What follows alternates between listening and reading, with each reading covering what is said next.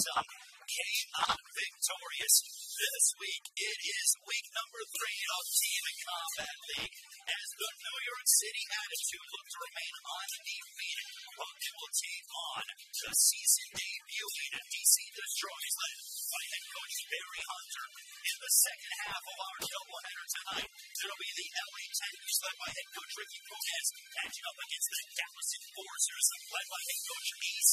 Ryan Colby looking for their first win of the season. It has been great on the team combating from Mohegan Sun Missouri Casino in Uncasville, Connecticut. 12 15 combat league week number 3. Welcome to week three of Team Combat League Race Flores, alongside Amir Tyson. Coming up, we got a doubleheader. First up, it'll be the undefeated 2 0 New York City Attitude matching up against making their season debut the DC Destroyers.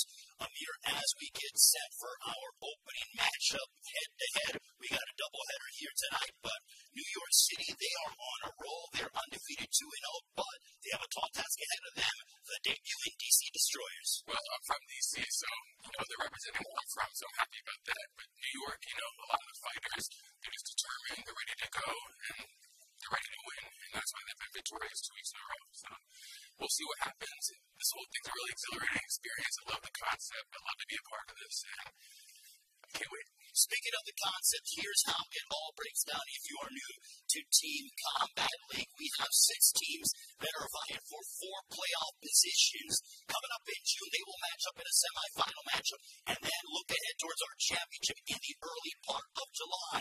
When it comes to competition, here is how it unfolds throughout the course of the night each individual matchup. Both teams will go head to head for 18 rounds. We will go six rounds, then have a five minute break, then go six rounds and have an intermission. Then we will finish off with the final six rounds. So 18 rounds is what we go. At the end of the 18 rounds, every single scorecard from every single round is tallied up, and then we will announce the winner as to who will go ahead and elevate their record and increase their weight in the standings with Team Combat League next year, though, we got some exciting news. Next season already, we are adding six more teams. So in season two, a team combat league, there will be 12 teams total matching up. But tonight, our focus, at least in the first half, is New York City and D.C. D.C. led by head coach Barry Hunter, New York City led by Benny Roman. That is on the way coming up next. And right now, I send it to Paulie Malignaggi, who's standing by with a member of the New York City Attitude, a fighter to watch here tonight here with Ralph Clement. They have the New York City attitude.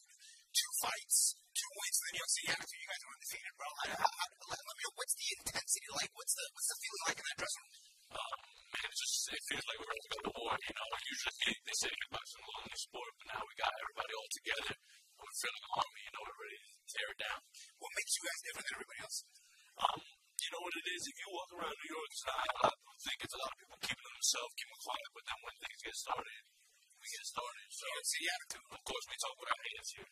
Well, let me ask you something. You know, you've been a really big spark for the team. You know, while the team has a, a solid fundamental team, you guys have done well, but you yourself have been a really big spark. What's the what's the secret behind that kind of intensity? What makes you take in there? Because we, we've seen you attack like a pit bull, and, and anytime you've been in there on the bell, right?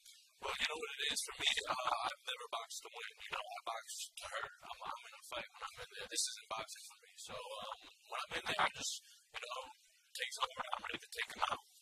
That's, you heard right here from Malcolm. I think one of the more exciting fighters in this entire league. Back to you, right?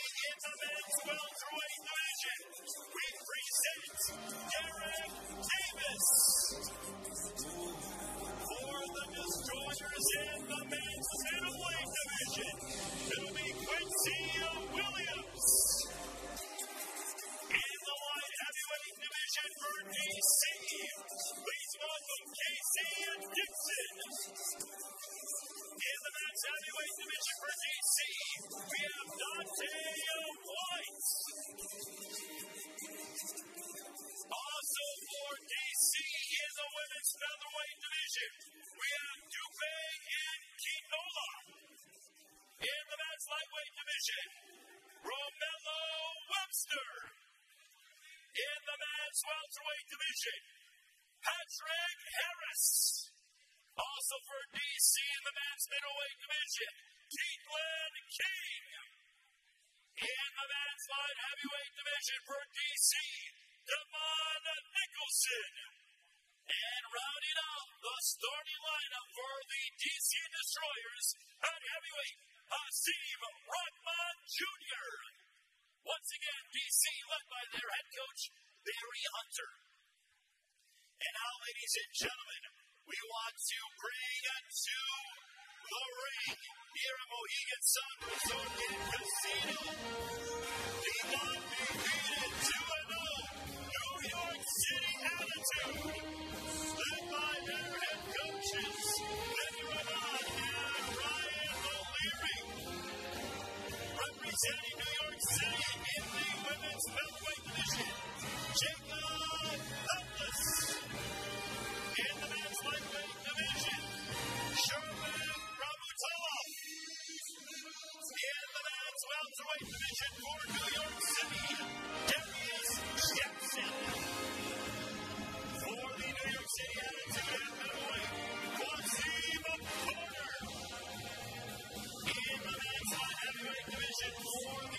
Little man.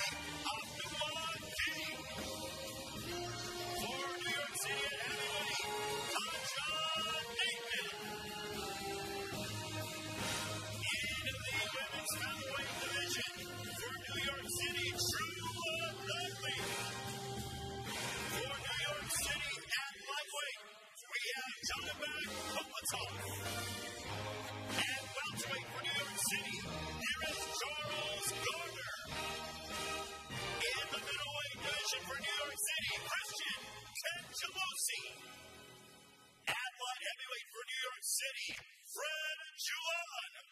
And rounding out the starting lineup for New York City, we have at heavyweight Earl Newman.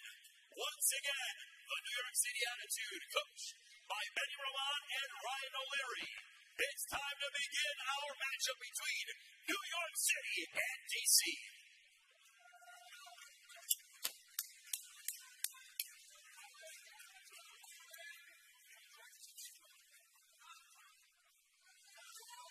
except for that first round. This is a solid matchup here. New York City has been 2 0. DC's been waiting to get off the blocks, but they are, a lot of it is expected from the Barry Hunter coached DC. Right now, they're still each other out. They need to jab, everything needs to come off the jab. Maybe jab to the body, only feints. But as of right now, they're just still each other out. Yeah, with this concept, with Team Combat League, you really don't have too much time to kill each other out. Look at them throwing heavy leather. You know what? The women have provided plenty of fireworks. Nice counter left there. That was good head moving from home uh, by DC. As are started off with Tyresia Douglas and Jessica Douglas. You see, they their season debut in New York City, undefeated 2 0 you see Douglas is uh, a little bit more aggressive. Douglas has, when you see a sharp counter punch, which is going to start reading a little bit more. You only got three minutes to get the job done. You see Douglas has an ability, which is waiting a lot, which is allowing Douglas to get on first every time, and it puts herself out of position. That was the issue. Douglas is letting her hands go. That's what she needs to do. It's not, it's not all around. Right on there by Douglas as she caught a wild swinging Cowboys Love New York City. right here, that right here, nothing should be getting all fresh. You back to your fridge, and I jam like, oh, like, I want to say, and like, you know, saying, and then from there, we should, you know, she could be able to string other shots. You can say, by the way, I used to like the shot, that was to get all four shots. That was just landed a nice right on the left cheek of Columbus. Even if you're not going to get over it, do some feints, give some changes to looks so that Pablo doesn't get comfortable being first. Because now God was starting to really get comfortable being first because she's got no resistance coming back most of the time. Or when she's on the road, she's in her body shots. So when you read your eyes for these women. that'll end our first round, we are going 18. So we're going to go six rounds, have an intermission, then another six rounds, have an intermission as we take a look at some of the action, gentlemen, what we saw. The action was fast and furious that was struck down a left there by uh, Douglas, as you mentioned, third in round, right? But overall, you see, Douglas waits a bit too long, and it's been it, it was Pavlos most of the time was pushing that issue. Yeah, I think Pavlos won that round. So you, you see, it's almost, it's almost frustrating. It's almost frustrating because Douglas, you can see how the ability can't get Douglas. Just doesn't get all your catch. She's seen the couple of She would really win herself a little bit more against all shots. She probably could do some damage for sure. So here is Kobe Brady.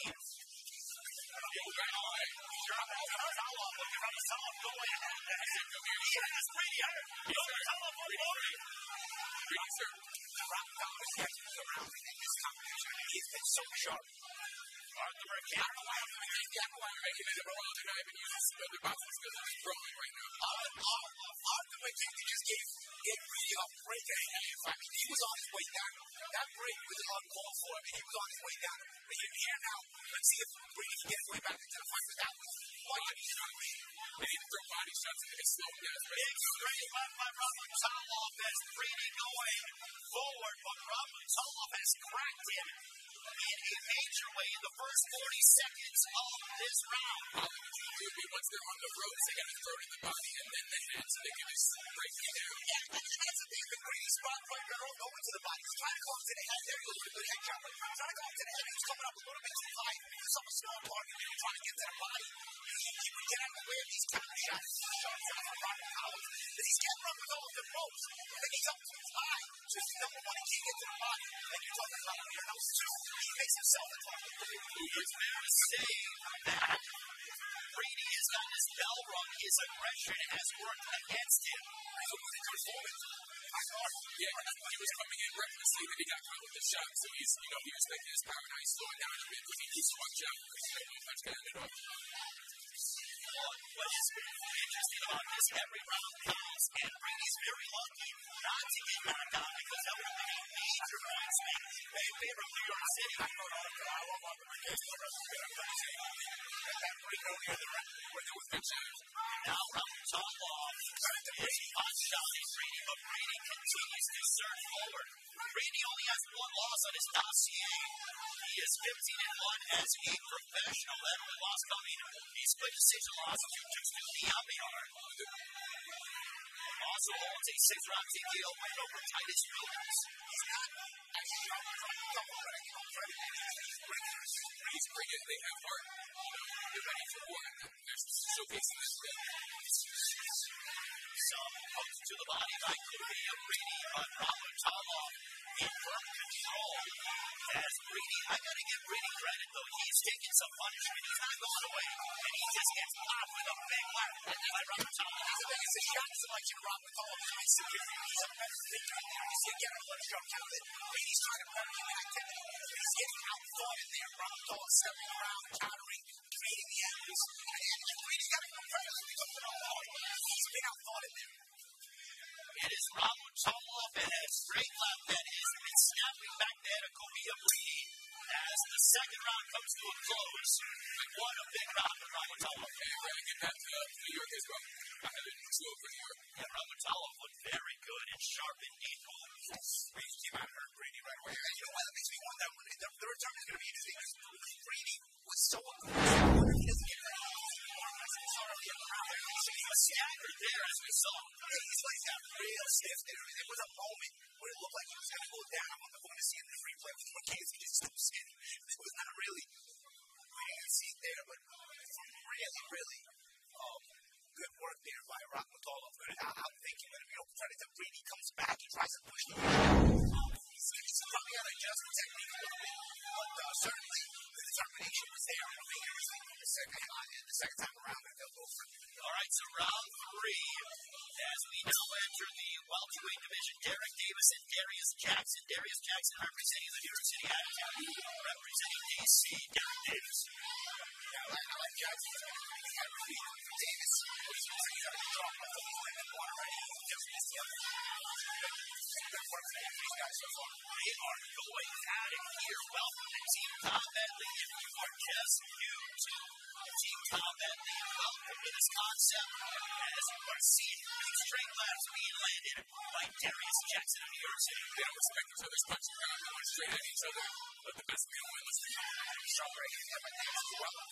left and right yards and right foot holding him, really shots.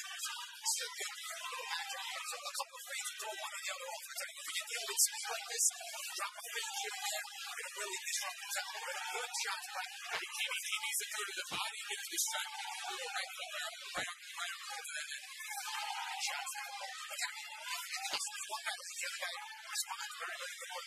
And good sharp shots to set up it has happened that, Darius Jackson is losing his height and his move towards me from one beautiful left uppercut.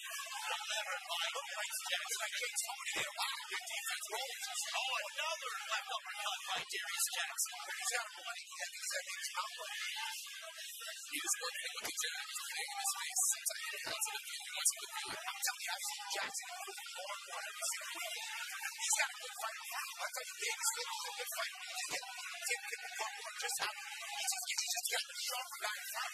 Jackson's a little dirty attack. Oh, we're not right there. Yeah, yeah, good touch there. Um, here, he's holding the head down one end and shooting the other one the other end. Jackson, Jackson has found a hole for that left upper cut. Eric Davis is on the board, and he's getting lines down left. One thing about Davis is you get that ball down in front of his team a little bit uh, to block those uppercuts.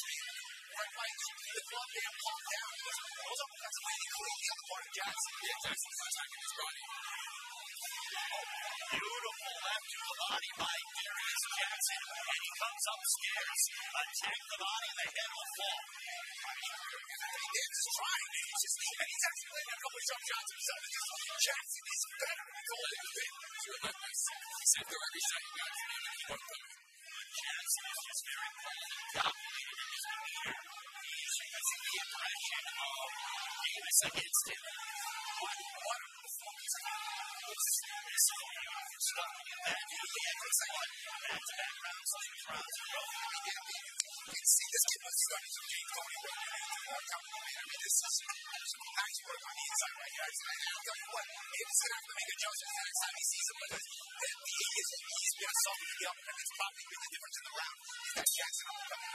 What I like about Jackson is that he kept on working the body. It was out, he was guard to the first three rounds for New York City as we'll go back and examine some of the action from the third round.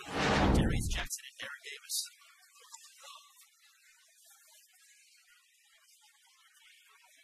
So Jackson was a little sharper. So David does some good work himself, but Jackson was just a little sharper. Knew how to use his height a little bit better. He got on the inside, knew how to pick spots a little better. Uh, sharp defense on the inside, rolling and then making a play on the counters. That left in there on that counter on the next So middleweights now, Quincy Williams from D.C.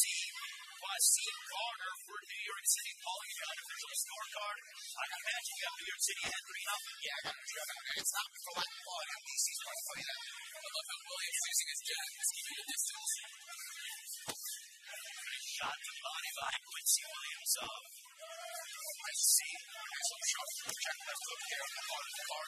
Well, he's this is get busy, but he's on the game so much for a really not processed. That's what people not better hope is about part of what they do not believe in a really not processed. They want the to start fasting, curious. That's exactly what you get every single week all sides of this to start going fast. That's when the New York guys have been a little sharp. Again, and again, you have a strong fighter like Quincy Williams.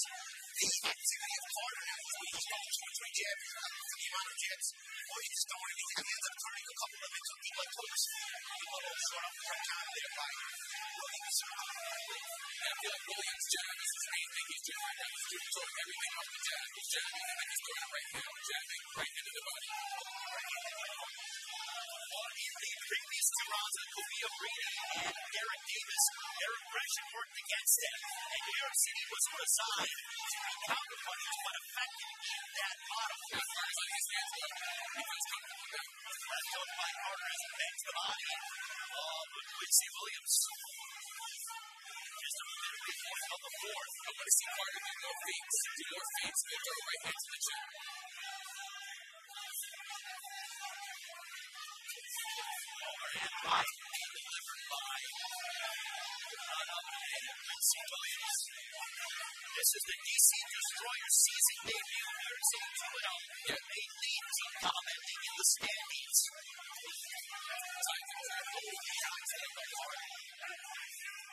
Good sense of the body. That was the, probably the best punch of the fight so far from Winston Trevisi. That right to the chin of Russell Carter knocked out his mouthpiece. That's what I wanted to see from Carter. He just faded to that right hand, and that's exactly what happened. Yeah, Quincy Williams threw that right hand right on the chin of Winston Carter.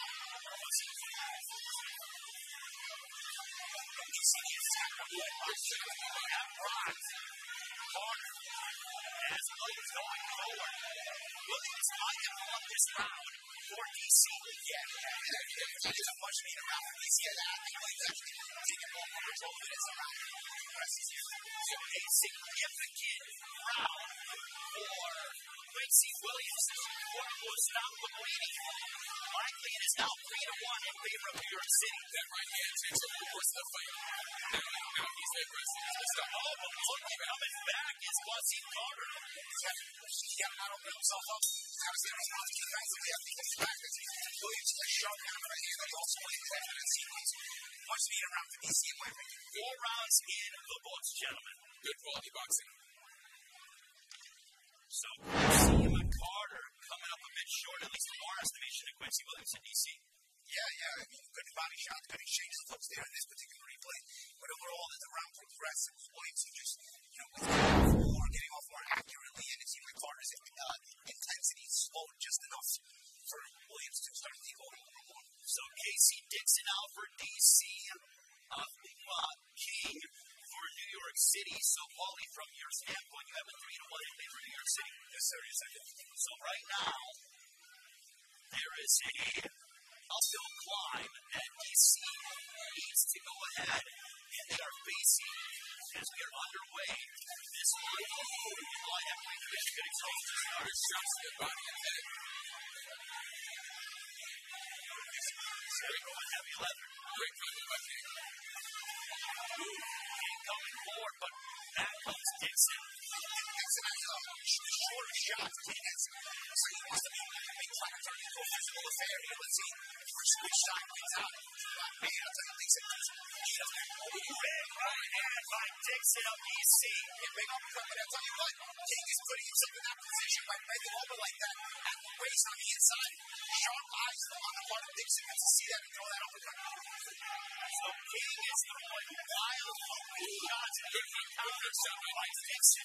Good I'm sorry, my legs and stuff the body, my legs and everything. I think just one thing. I'm trying to move my body and everything. You know, when i to start trying to play shots, I'm trying to get myself in a body. Here's a right hand by Gibson as he comes forward. It's interesting because typically we see who has been more aggressive, but here King Bernard City is being aggressive, and he's being countered by DC's Casey Jackson. DC knows that they're doing this always. They're losing the round, so they got to step it up and get their team right now.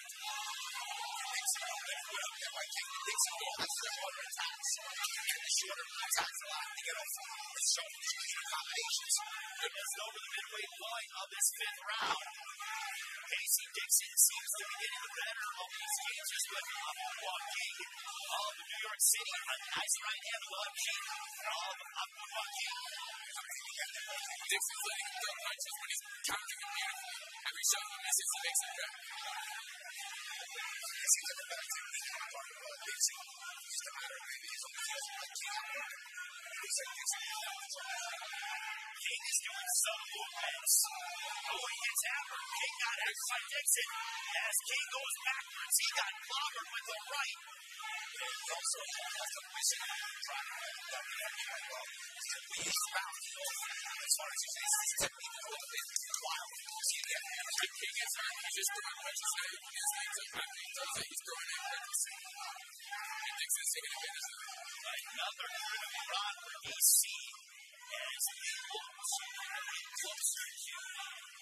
even though this match uh, from our standpoint, 3 to 1 as of right now, they favor of to This could make it 3 to 2. Or anything significant happening for New York City. Yeah, and you said these had to go time, because they did. So here's Dixon. Tapping some free to ground. Oh, Bengals! Bengals King! Oh my goodness! Beautiful look. I'll tell you what that is. Technique. I'll explain it in a second push your wide right. Wide left to make older left hooks.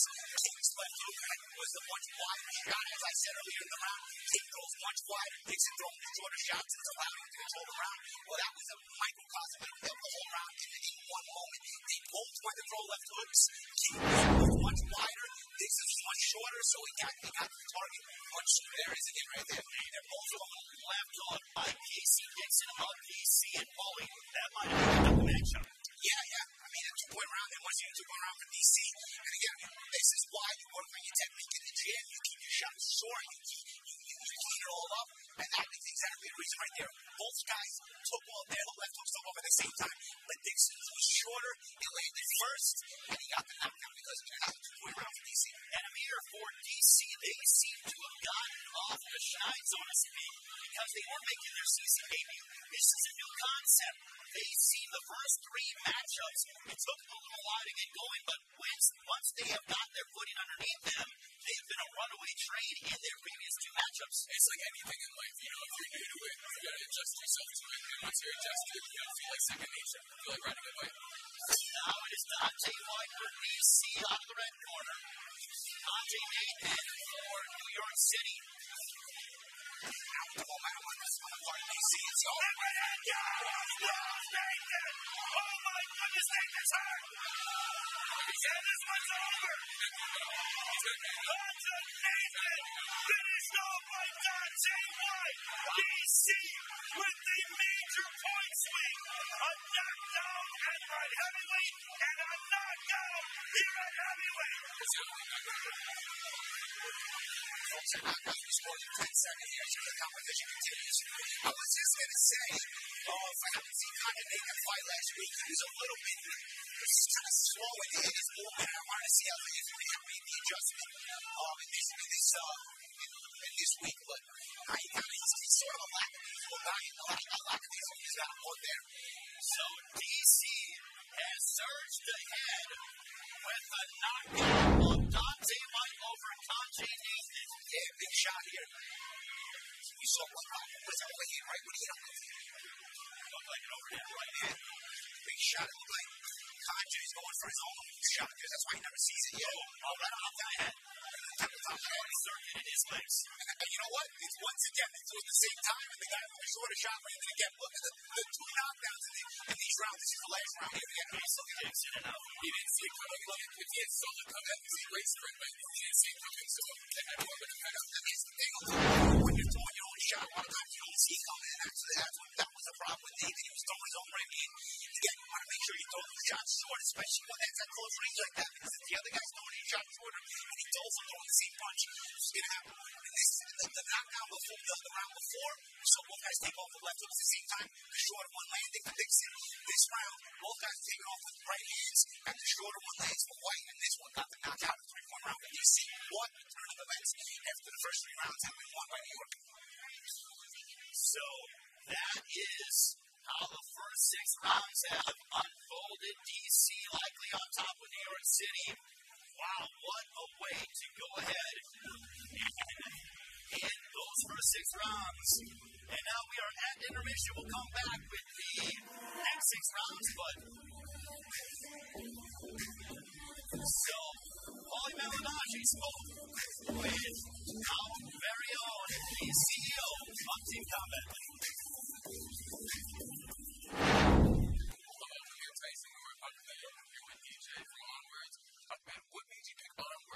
Gravitate to Onwards as a club and other brands and other options. Thanks, Amir. Given the fact that, um, you know, TCL has a very unique concept and it's not the traditional boxing. You're going to be having to be gloved up as a team unit for a long time sitting down. You know, so the comfort level for the boxers, we want to focus that on. We saw with Onward, uh, you know, the, the, when it comes to performance level as well, you know, they were at the highest level. So that's what really we focused towards. with Awesome. Can you elaborate on what you said? Yeah, yeah, The traditional boxing, you know, the fighter gets gloved up and then they go and think now, you know, with this model that TCL is bringing you know, it's a team up, right? So everybody is sitting there alongside on the ringside waiting for their opportunity to be. So comfort in their clubs and being loved up for an extended period of time. And as long as they walk in between the roles, it's all about performing. So if you look at our goal, almost like the way a sprinter looks at a sprinting shoot, right? We cut out all the fat, all the is in all the right places the, materials that we use at the highest level. Okay. So, from a manufacturing standpoint, what we want to do is we want to give the fighters the best opportunity for them to compete at the highest level with the best product on their hands. And I believe that Onward and TCL is a great combination. Awesome. Awesome. Great talking to you guys. The fighters were Onward tonight. Thank you. Also, Onward.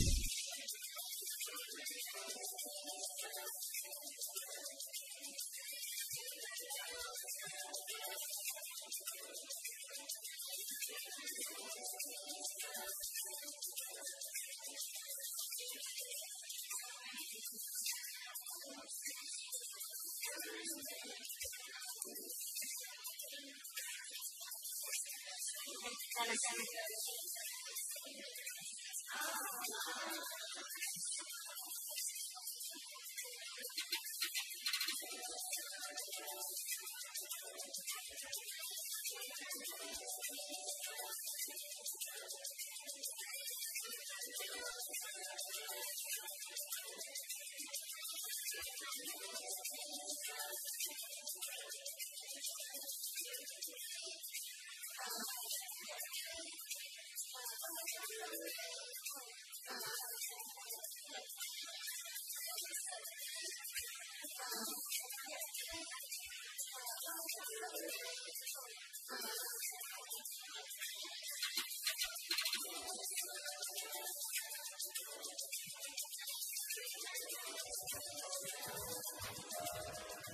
Thank you.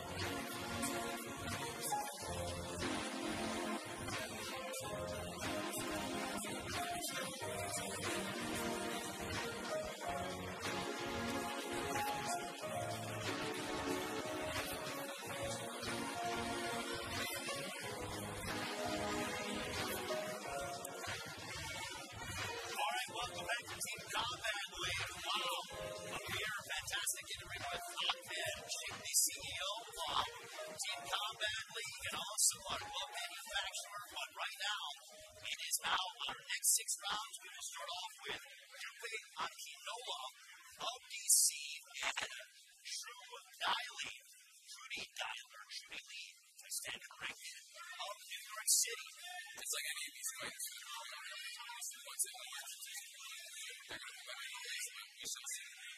So that knockout um, the opposite over, and has put DC on top, and they had Henry Quinn Browns, Casey Dixon, and Dante White.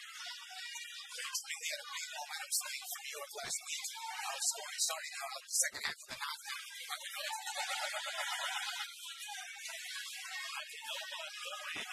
forward time with you. Sure. Right. Yeah, good question. I know that's this. She's got to be given with the walk into the shop. She's not open. Right. Even if I have a door.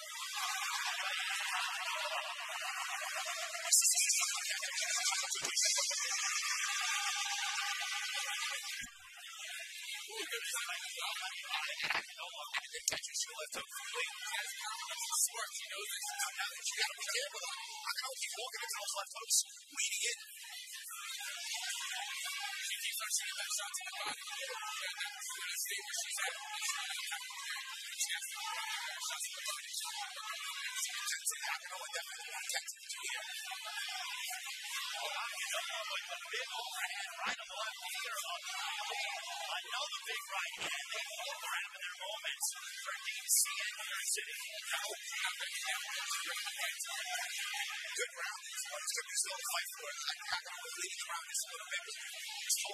water, it, it in a box, and let's see if I can only keto this level of times. I feel like people said, no, you just got to keto straight back like that. Go up I'm going to and up, keto straight back like that. She gets flipped, going straight back, stay how high. It's going to be interesting to see if she got really intense at first two minutes to see if she wears down.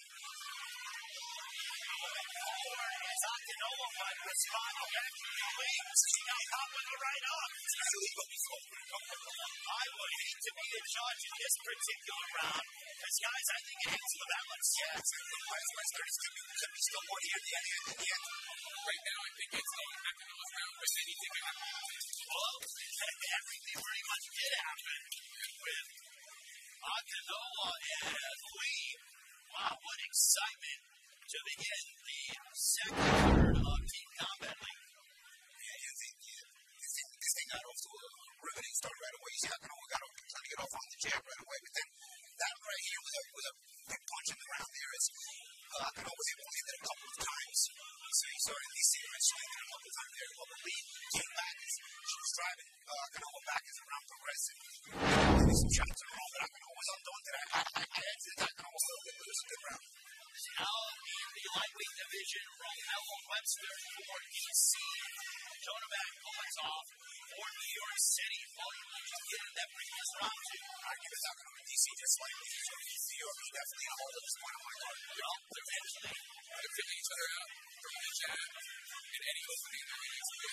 Right now, they're just figuring each other out puts in jab by Romello Webster, starting off very aggressive. I'm going to jab and place him in various positions. He will guys wait a little bit too much. I like it. These guys got to keep going. Wait, this is an opportunity. We only got three minutes. This is a big opportunity. It's going to the party by the way. He will to the point where he reaches jabbing effectively with the ring championship midway through the round, which is oh, the rocket. Good. Good by Jonathan you know, maybe gain some confidence after I left Holy Webster has been using his jab as his primary weapon of choice. Jodovac Komatov waiting on the openings to try to land big power shots like that to the body. He's trying to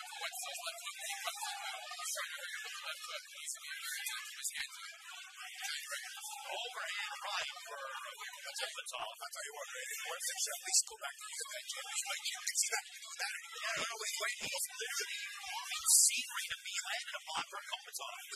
I mean, and, and you know, position is not in the 10 round play. You don't even have four rounds consecutively. You have one round, 180 seconds to score. You're doing a combination to get more confidence. It's very well to the head and body. And you can see what that, not just speed, his weights. Weights too long. I love Johnny Benson's shots. Those yeah. He's throwing, he's throwing the right shots. Yeah. And, and, and really, it's almost like he knows, he's really what's in body language, and he knows how to get to it. Well, what's interesting is Kopitar was the counterpuncher in the first half of the round, but now with Webster sort of just waiting and not throwing, it is Kopitar who's being the aggressor and is fully completing the round. Now, you can see the opening guy do have counterpunching mentality. It's just that Webster, when he does that, when he comes is he doesn't really counter that much. He doesn't have to check what does that miss, but Webster's got to get off more counterpunches. Because at this point, it got to the point, like you said, right, where, where Kopitar, when we jump back that, Kopitar that more aggressive he's was putting punches in combination, and those are harder to count.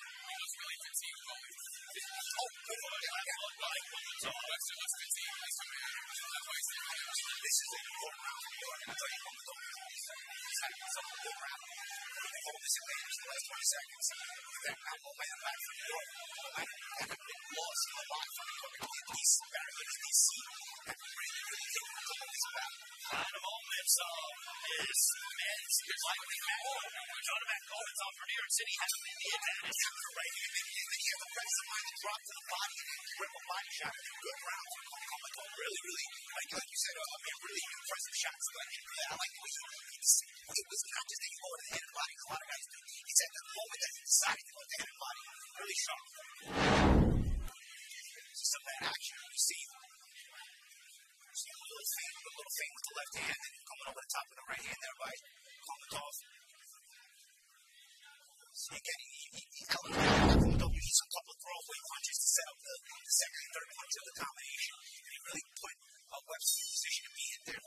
So now we got Patrick Harris of DC matching up against Charles Gardner, and I would have to say that New York City they were trailing as we began this being seven through twelve, but now New York City has once again surged ahead, and I think we have an even matchup, guys.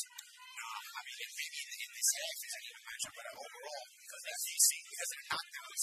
I got I got DC, I got the knockdowns, I got the first half. Right now, I got one point this in this half. I just do advance and see which one's going to put it first.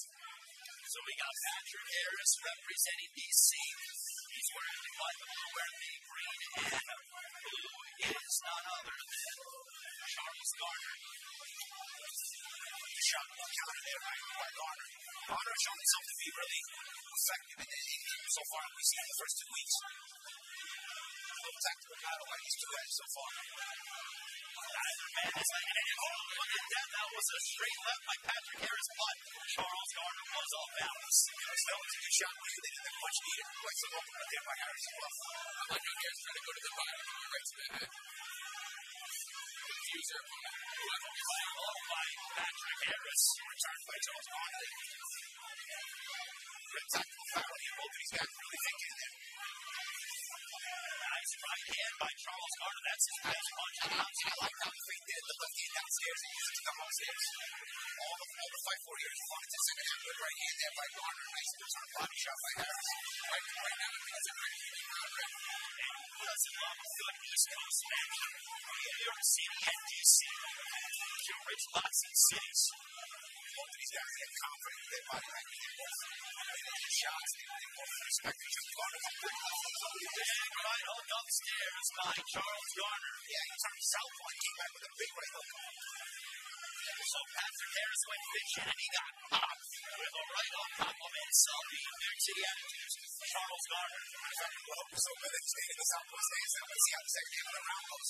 Let's see how Harris deals with the Cheetah States on the Garner Garner.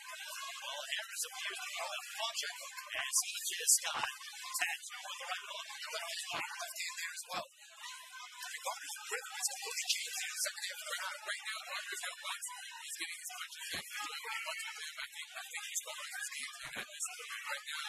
Well, how Gardner goes, the convention. his top rates are is this play. This is his crunch the shoulders, going from conventional southpaw to right hook. He's feeling those segments are and Harris dropped some things that goes out He's got Garner in a position where he's feeling it so much. Get, he's in a rhythm, drop some things, disrupt that rhythm. I don't know if that's strong punches, but if he doesn't feel his ecstasy, he's going to only allow Garner's confidence to grow. Right now, Garner has his ecstasy tighter, down, stop if I could give an award to Swaggy, swaggiest fights give it would to Charles Barton. Other dudes he had helped me with the, the hairstyle already. You know? I mean, seriously, that is one swaggy dude as he demonstrated that inside the ring. What flair inside and outside the ring for Charles Garner. It, it, his checkbook, his movement is what won him that round actually, you know, after our first half, that was very even. As, you had mentioned, I mean, you know, the second half, he turned south and really switched up things a lot. And that was the left game by Harris early in the round. But as the round progressed, Garner really got going. I tell you guys, it's an interesting matchup. I will tell you what, because I was at this trial. I was at this trial when they had this box. They took their first spot in the New York team and came closing out the spot. But I graduated from King and someone from the business unit has watched these guys spar each other. And they gave the spot to D'Angelo. So it looks like King won the, on the DC triumph, and DC gave that the uh, spot. So I'm wondering if this is why this all now, now I just gave you the background on this, so let's see how this round starts. When somebody says you're not good enough to play on my team or fight on my team, and someone else hides you, and then you match up against the team that said you're not good enough to have extra pizzazz behind it. Yeah, because I've seen that, you know, in sports in general, guys will be their own team. Can you get those guys Show shown that? But of course, again, Mike is gonna he's gonna he's gonna be motivated for this matchup. I'll tell you what. These are middleweights and they have the physique, some anatomy. Yeah, right now there's no question. They need to be short and press. Right? I am like Angelo Cena. They're at rock came with her long and even shortened it up. It, it really hasn't stopped yet. She should, I, I, if I'm in, I, would be using more the jam. Something up a little bit for the bigger shots. You're throwing wide shot with King. You're gonna, you're gonna want to play his game. And, and King is, again, I guess if King is motivated, because like I said, you did get the spot on the girls in the in this cage. So he's, he's gonna be motivated to, to, to let you know that they made a mistake, not picking him. I love Angelosi's dad. He's really taking control of Spike Wars. down the right hand from he's like king. But I think, I think that Jack would be busier in this round. I think that Saints would be busier in this round. You actually would think like king of the scene that there is extra that motivation to try to put values in me on one decision, you know, like, you Christian can have And you know, like, you know, she's like, they have a with this. Promise the whole stuff, we're thinking, get it back. I up with my flower, I was shot up, right? I am shot up with my I think it was, you know, not to make it this, it's not much he's taking control of his weight and offering generous to the Lord and life what he was right? Body by Christian, and this they when they when they're all falling, but they've got the short shots. If he got the ball from the Angels, he have the short shots. If he wants to put a good shot there by by Keith. But the difference between the shorter shots and the closer so far. About one minute to go in time, Chad. This overall matchup schedule for 18 will take the loss at round 11 and 8.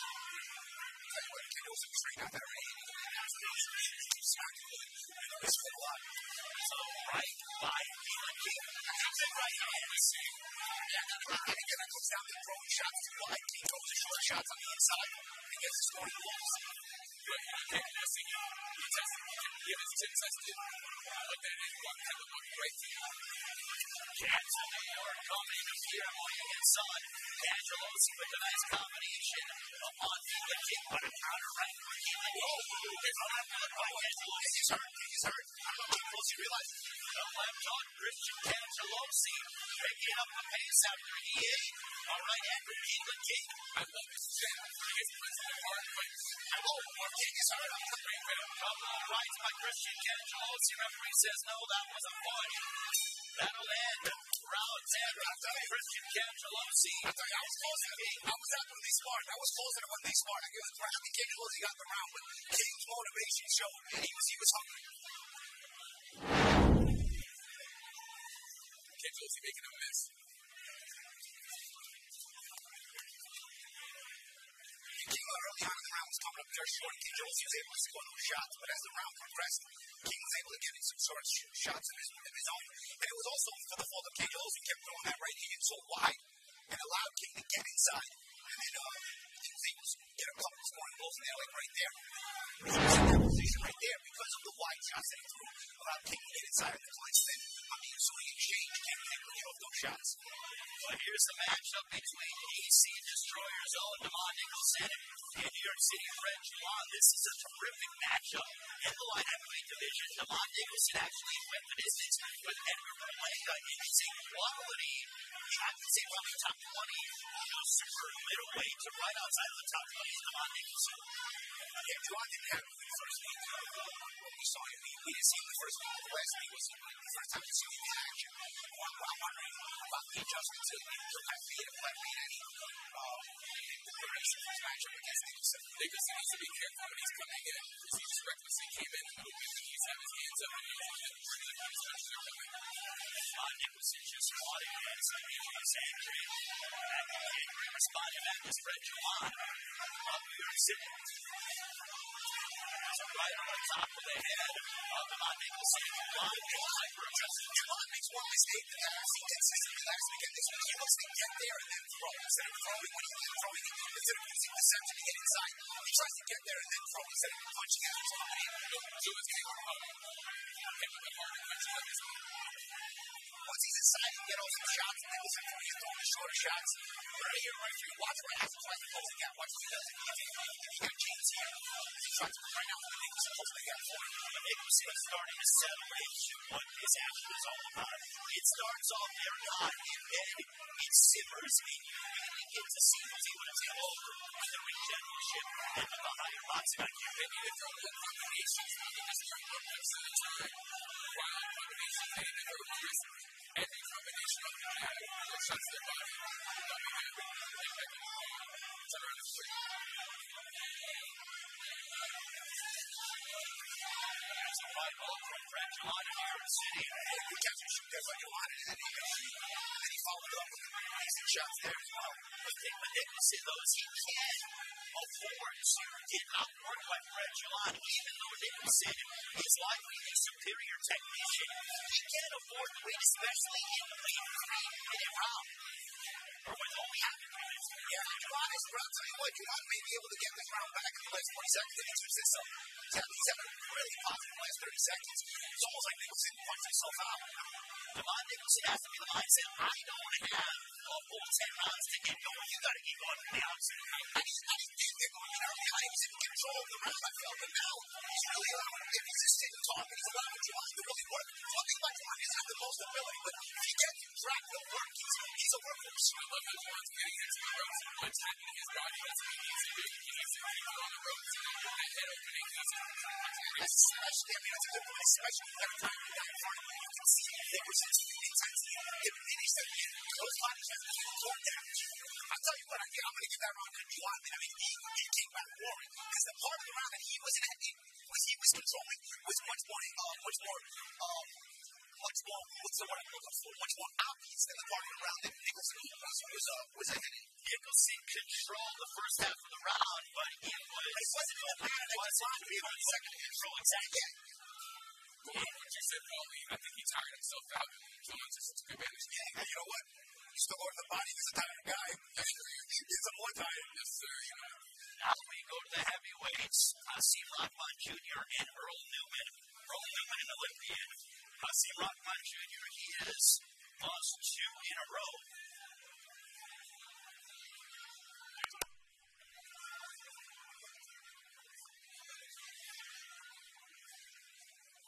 So we get ready to go with our next matchup.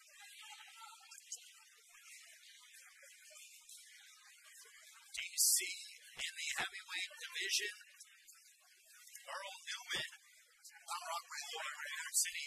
It's not rock by the water. We apologize about that. We are efforting. Norman and Neely is who it is. Norman and Neely for AC. So Norman and Neely replacing us. See Rockmont Jr. Get ready to see Rockmont Jr. has lost two in a row. But it is Norman Neely who is in action for DC as Norman Neely taking on Earl Newman. Holy, how do you have this one scored so far? I tell you, I don't have my whole score. I have the first half, I have the second, before the DC after late knockdowns. But this, this half so far, I've got, I had DC winning the first round, and New York has roared back the last four rounds in a row. All right, so I'm not a mathematician. We will tally that up during our intermission. But Norm Neely for DC, DC led by Coach Barry Hunter, Earl Newman for New York City. Earl Newman's one of those guys that's pretty much a constant. You know, he's a solid fighter. Uh, is he, does he have, you know, ability to think his way up the ranks in this court, absolutely. But you know, I think this is a very good platform for him to be able to display his talent in New York City. At least I'm not talking about so far. But it's a little stiff or whether I would just flop and put his head snap back like that what Pez just said.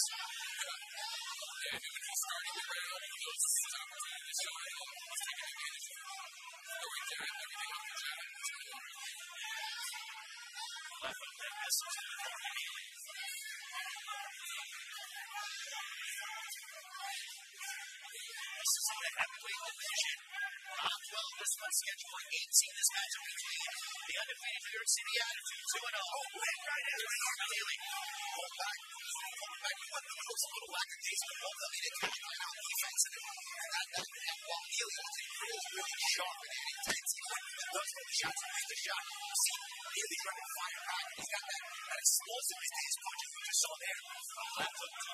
Bonnie, we heard that here in the broadcast position that we went from.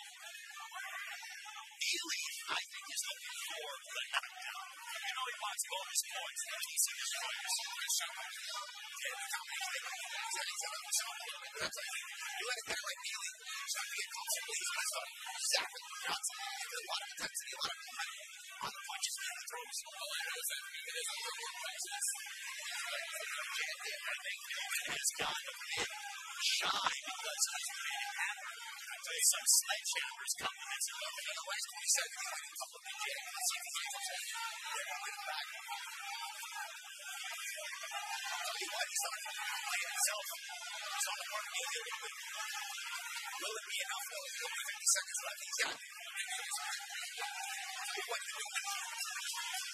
I, started noticing about the last 30, 40 seconds ago that people really started getting jammed on when he let them couple of shots, and you can see that body language of him start to change. I mean, I'm going to keep this momentum going here.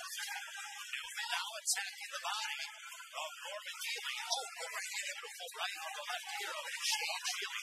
Shane Healy keep firing right back on this combination. We're going to check the right hand. As you look at Presley, that's one of the Presley's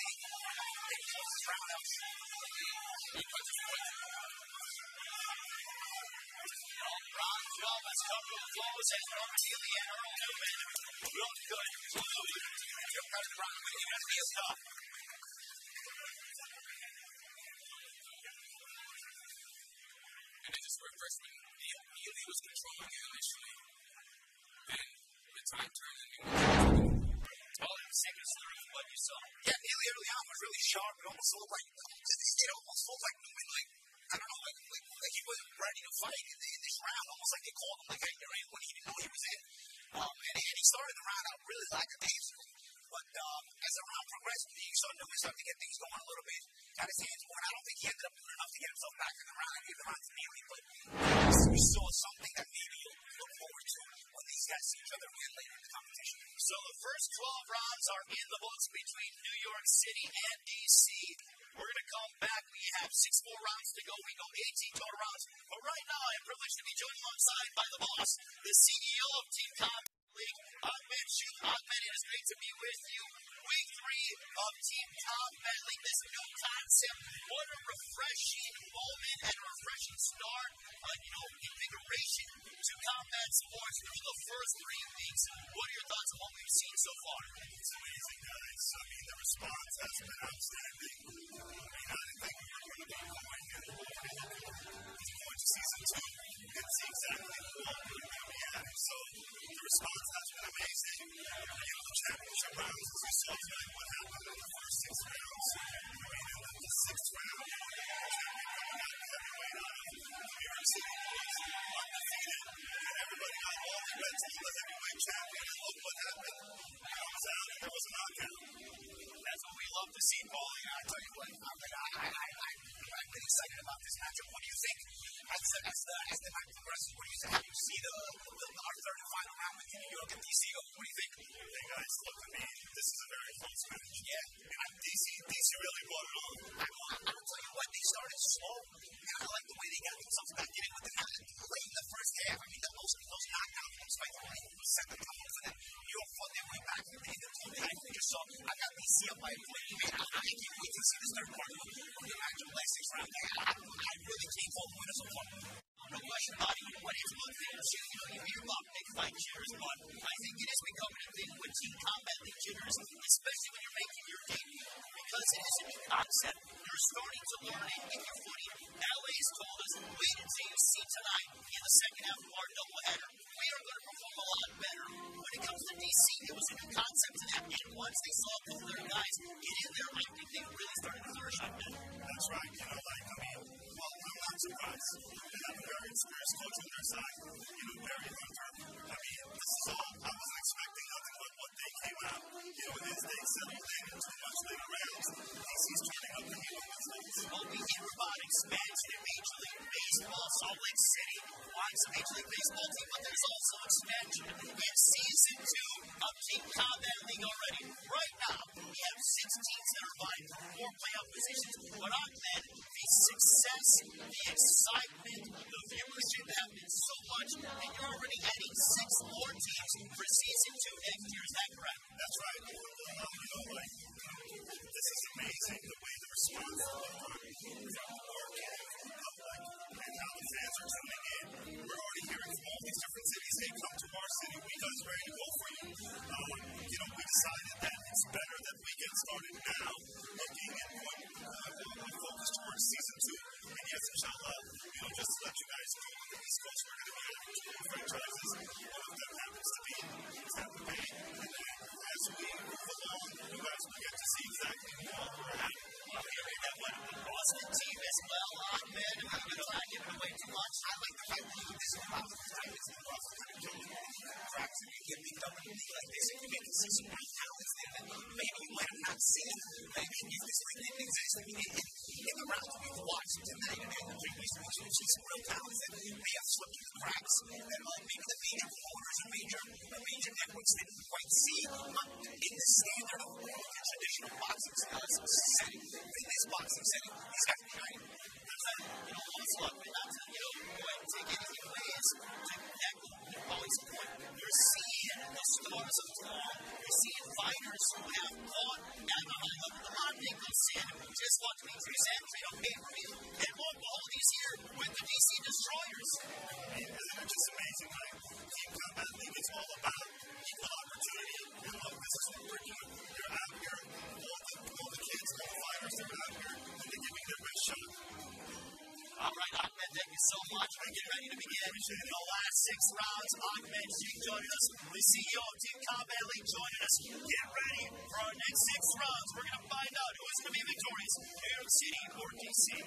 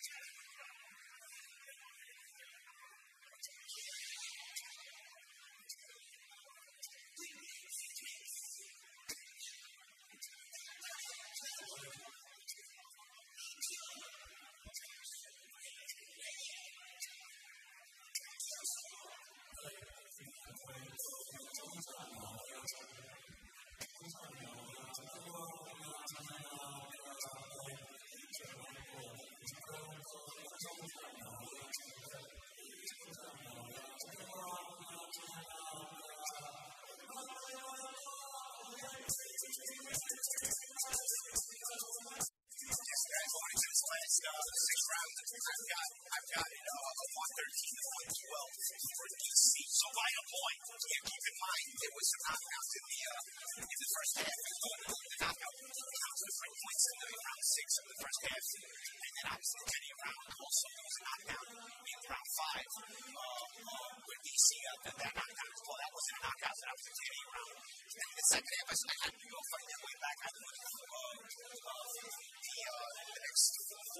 uh, six rounds. Yeah, I really think that. I don't, I don't know why we only had nine rounds on the scoreboard. You guys have my score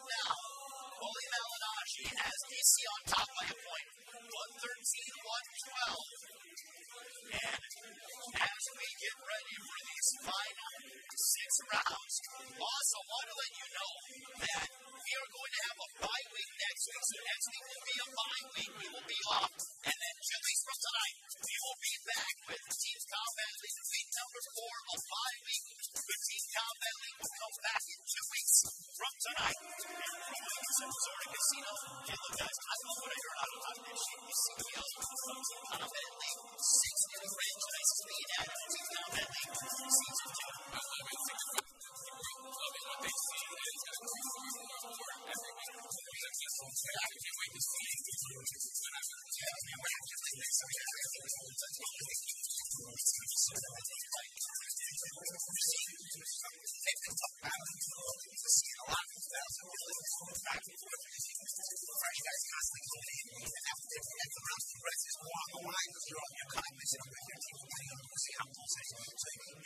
Plus, you're going to be all that more intense negotiating with the world might It's really, really a lot of fun. When these type of fights work from gravity, you know, you know, you know, you know, you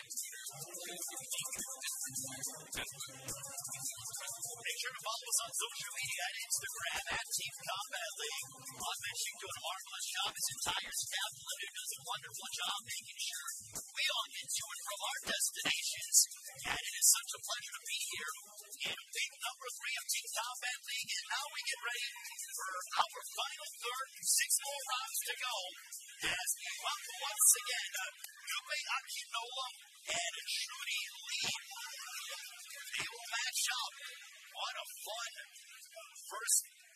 think I am. I, I what just had to but it was really, really good.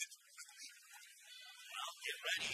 We have, we have DC on top, 113, 112. These final six times are never so single.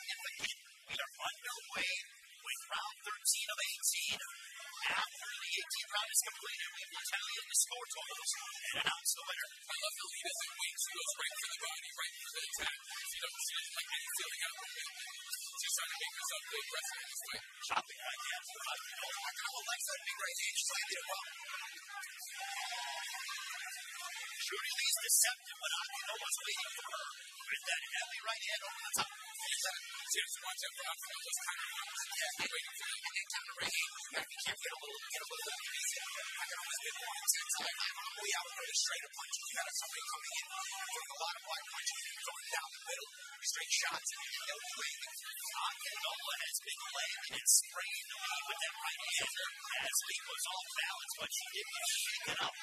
I to pay up to the law and see feel like she's bringing it to her ass at this point. It's too much for to be like, at this point. I mean, he's winning this round. These five or six rounds are essentially the fourth quarter or the championship rounds, if you like to see a prize fight. Yeah, yeah. I'll tell you what, the, the, I remember the first time I was out the round big, and then the entire round was researching intense punches. He was able to make the round close. I mean, that was funny. Exactly. Now let's see if you saw I thought going to be wild, right?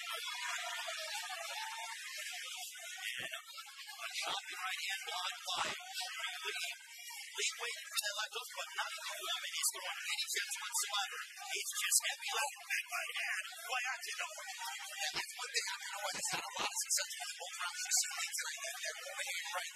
He's got to learn to get underneath those kind of punches. And again, I, I, in my opinion, she throws a lot of straight shots that I can hold. I can hold a lot of wide punches you can throw inside of her. Good round for Rockman over to get things started. You see in the second half. What around between Dupe Akinola and Shuri Lee? Gentlemen, what action that we have witnessed that action from that round. You see what happened on one. He's like, he actually one wide shot at him. So he hit almost a concert. And he throw the other second wide shot even harder. And you, see, if you notice, he throws the first shot as a hook. She goes up even harder overhand right. He throws a hard overhand right. She goes even harder hook because her hips already in place to whip back around. And that's how actually she denies her momentum with a combination. That was a big right in there over the top. I can know it's, I, I call it Lee, I can mix up the names, but I know she's, she won the round and their killer being seen continues to increase their lead now. See, with the women's featherweight division, Tyree Shield Douglas up to Jacob Hamlis all in New York City. New York City's undefeated record of 2 0 hangs in the balance. They started off week 1 and 2 with two resounding victories, but now is looking to take away that undefeated record. i tell you what, this was an undefeated person. I feel like Douglas has a really wish he hasn't believed in enough to get hands on that confidence. He does believe in her ability. I don't think she has talent, but it does wish she holds her and gets the job done. All Douglas doing, she takes no shots on the inside. That was really good where there's an relentlessly, which is like this all left from Douglas, right uppercut by Pat West of New York City. I hear the Oh, there's something about one of these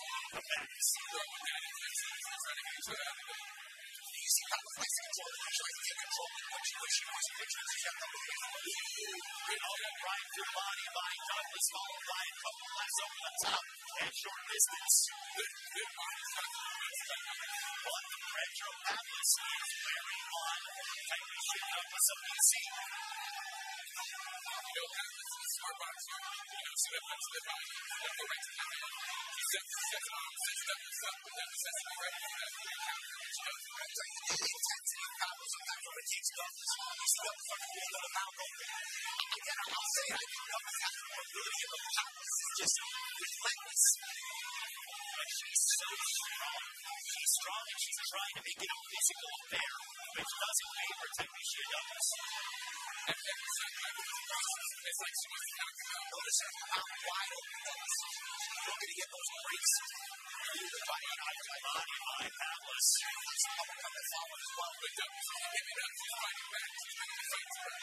This is a big run for New York City says, boundless, goes ahead and likely handles business against DC's Tyrese Douglas. I can get around to, to Bobby, but uh, uh, I, I can credit the Douglas for fighting back on that particular round. Douglas has, has talent. You can see Douglas has talent, but she, is, she doesn't get over enough to take these rounds. Yeah, but you see the sort of shots that being thrown by Douglas, but it's, she's being buried in activity by Powers, and that's what's carrying around. It's carrying around Powers. So right now, Paulie coming up next, it'll be the men's lightweight division. will be Anyway, I'm just curious to the match before I started this bridge. I'm curious about this bridge. So intense what he got early in that round. Because otherwise, I would have been close rounds.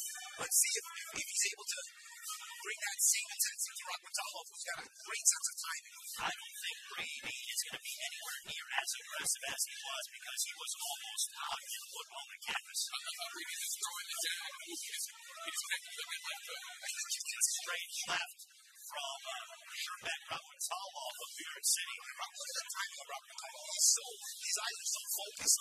He's looking at he's looking at how as soon as you're eating it, you're always kind of like right reading reading lunch is and he hits the top.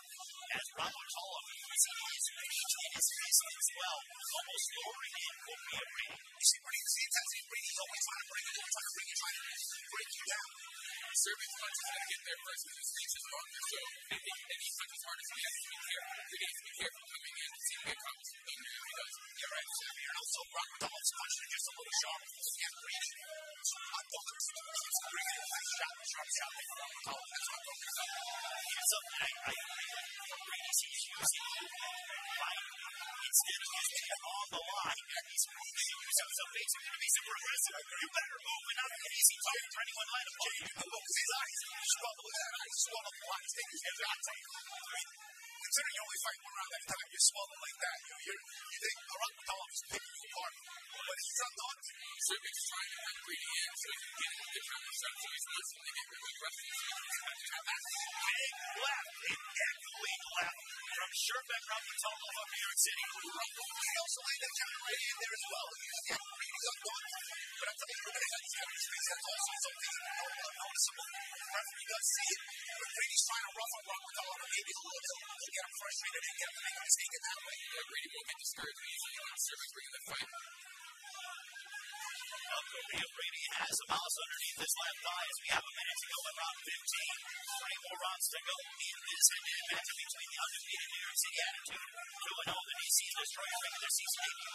Another left burn from Tola. Again, great sense of time from Rock McCullough, but not for a lack of trying. We can't tell you that, but Rock McCullough is the better fighter. He's one of the best fighters. He's one of the best fighters in this whole league, and I have yet to not give Rock McCullough a round. i I'm. never seen him use a round in 20 seconds record, but i am given Rock McCullough called every single one I've seen.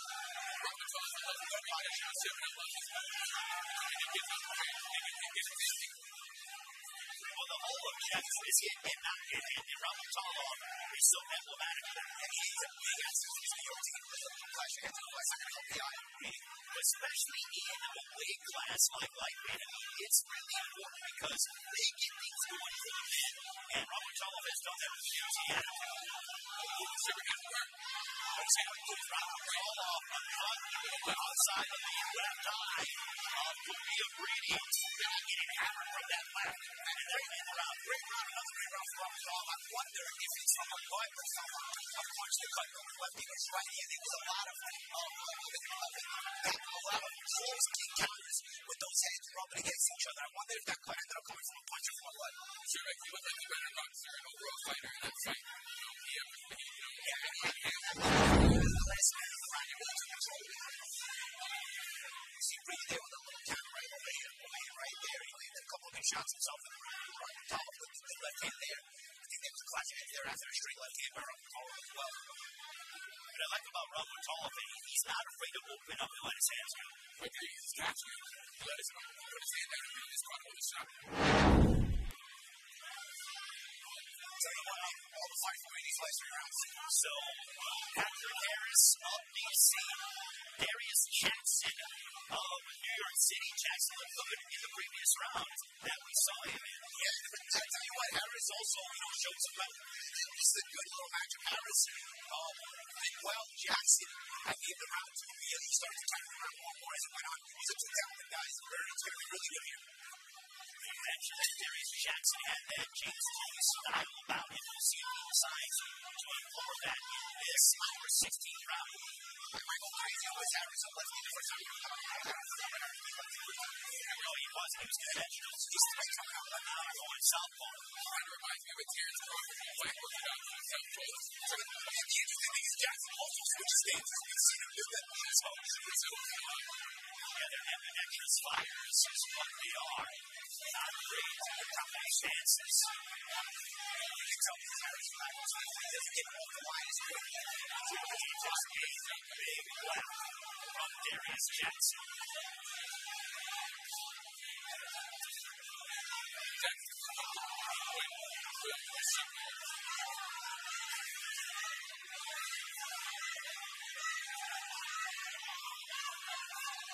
like that. Most companies feel like most of the money is coming to make the best thing right now. Cash is sustained in a lot of fire, but it's being yeah, it's Jackson this. Yeah, he's on a fire rocket. That's how that's one way you get around the long range attack. One shot all they have. As Harris just got popped by Darius Jackson. So for that, he is literally backpedaling with his chin in the air and Jackson tapping. And that's the thing, Allen Jackson is long range. He'll reach you in weird spots. If you get to black race with a shot, they might have to return. Harris I think Harris now is kind of stuck as to be like, well, I was fighting him Pretty good round, and then I got caught a second. Then he gave an opportunity to Derrick Jackson. He got a major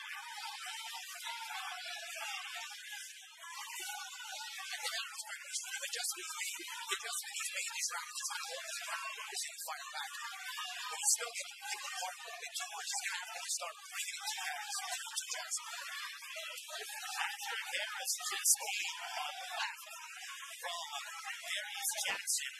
And Jackson has been a bit more selective in the 16th round, but he's still picking apart Patrick Harris. He's seen you seemed like he knows people as long as they were. But Jim and he's not afraid to start things I think he's demonstrated that Patrick Harrison seen. trying to He's been just a little better. He's made a little bit challenge. He did the slides, but he did the interviews. he's worked on all these positions so he can try to counter back, and he's done a little bit better job this round. But it's been I think, still at the underneath the right eye of Patrick Harris of DC. Oh, big shots for Darius Jackson of New York City, who's feeling himself. He cuts gloves. Good record. Good guy. good, that more effective good, like Harris coming good, a lot? Good, good Good skills for both those guys as well.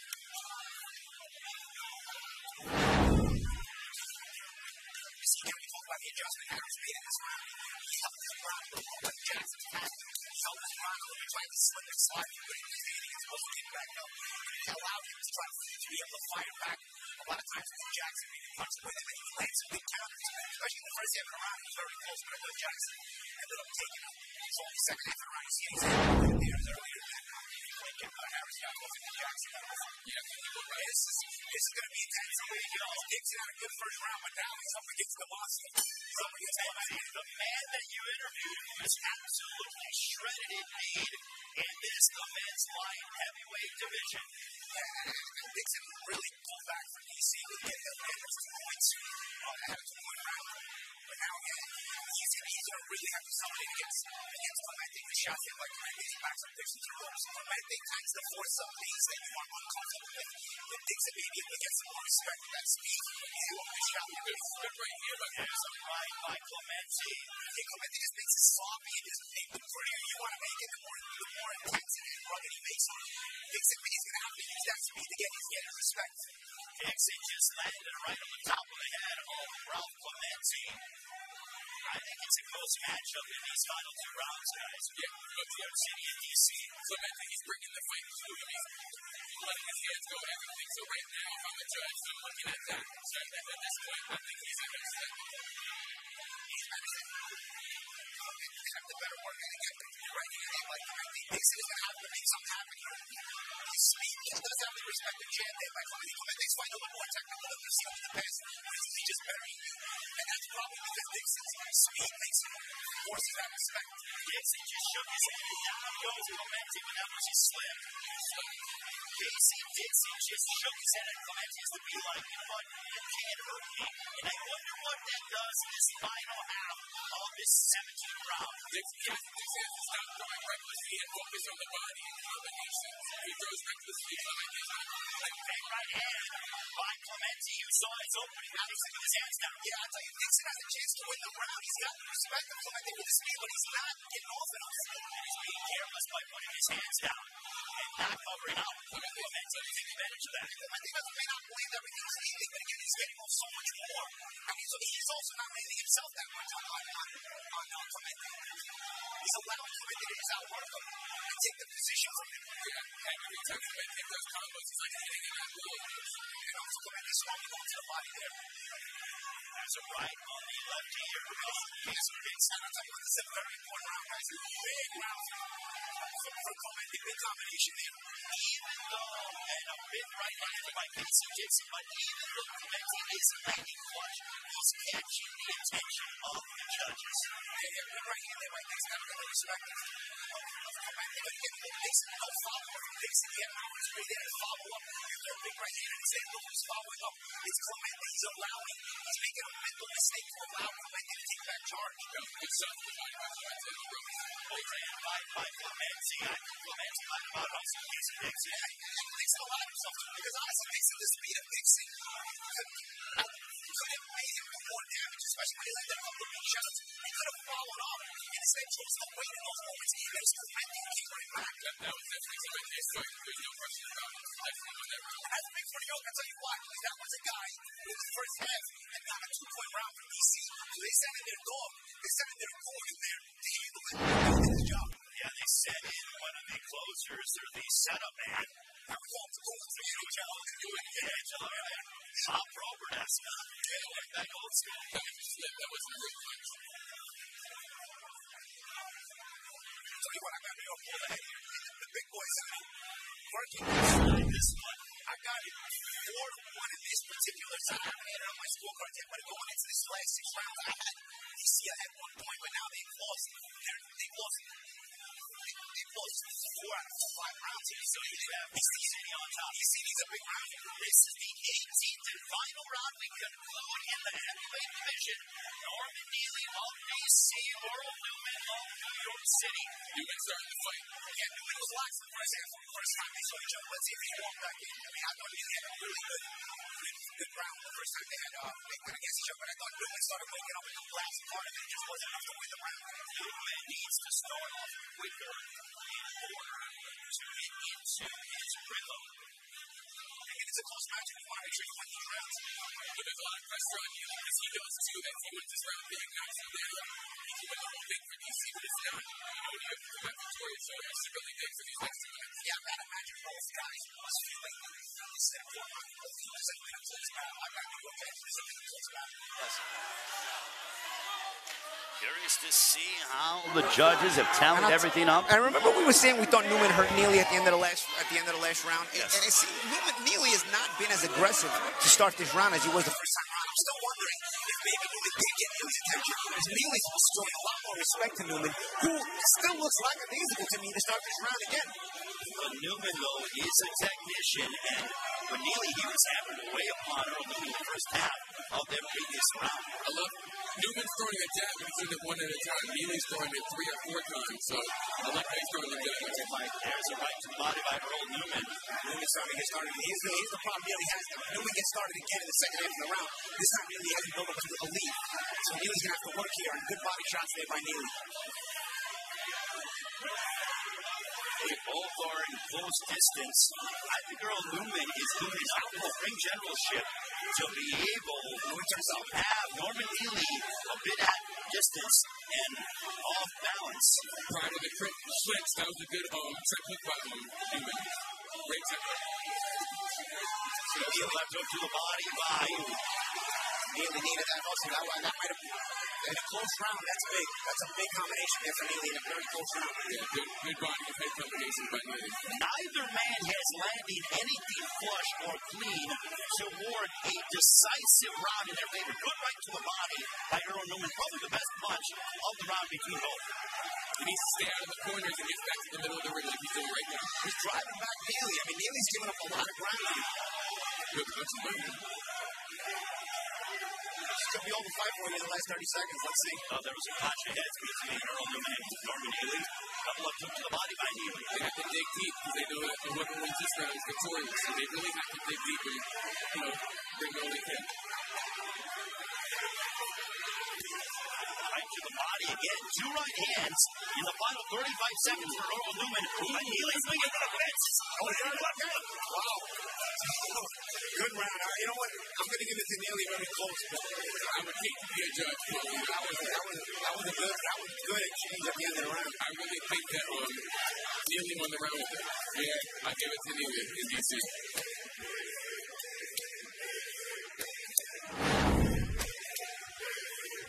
has England in the World Good shots to the body, right? Yeah, yeah Newman went, attacked the body well this, this round. But Neely also had has good moments. That, that last exchange was really a lot of big punches going. Neely, Neely, Neely had a better ability to put combinations together. You saw there, most that was smothered, but still looks good for the judges. And Neely had a little bit better ability to put punches together. There, even the last, the last seconds of the round, you see Neely doing, getting off the shorter shot. Newman only did his own shot there, but I thought Neely had made Neely, Neely had just a little bit here.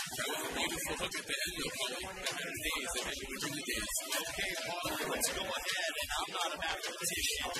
And how do you have this one unfolding as 18 rounds are in the books? The matchup has concluded. Don't forget, we still have the second half of a doubleheader with LA I've got in Dallas. I've got a very close doubleheader. I've got a very close doubleheader. I'm going to put one system out of 170, 160, 180. Super New York City by a point. By a point. Paulie Malignaggi believes New York City going to be David Corey is to Mulver, DC, outside, down 69. I don't get me wrong, New York won a lot more rounds, but don't think that's like 7 to 10 8 part in the first, uh, knockdown in the first half. Probably, I think, depending on how judges judge, they really can go either way. Yeah, it's one of those. That's why I uh, like round Is it, you had to fight that last round I like it with Pat Lancaster's fourth round, because it's one of those fights that literally was a championship round. 100%. I could keep that way from Camille. So you had, you had um, New York come up victorious? Yeah, I got it. I, I took on my system in like 18 rounds. I got it 174, New York City 169, 184. Um, it's safe to say right. these two teams will be rivals. I understand this, and they face each other. And we Michelle see who comes up on top the score is getting announced by Ray Floyd.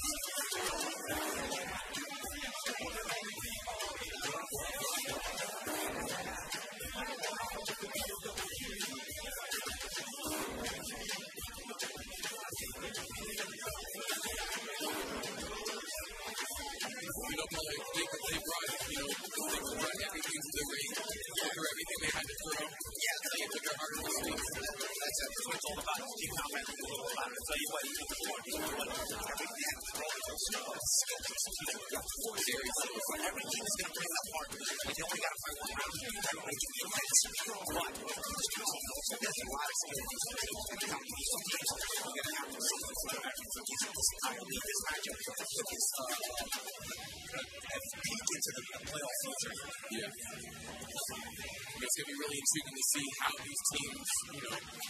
in the future, their rivals, you know, whatever happens. Interesting. And also, ladies and gentlemen, also after 18 exciting rounds between the New York City Attitude and the DC Destroyers, we go to the scorecards.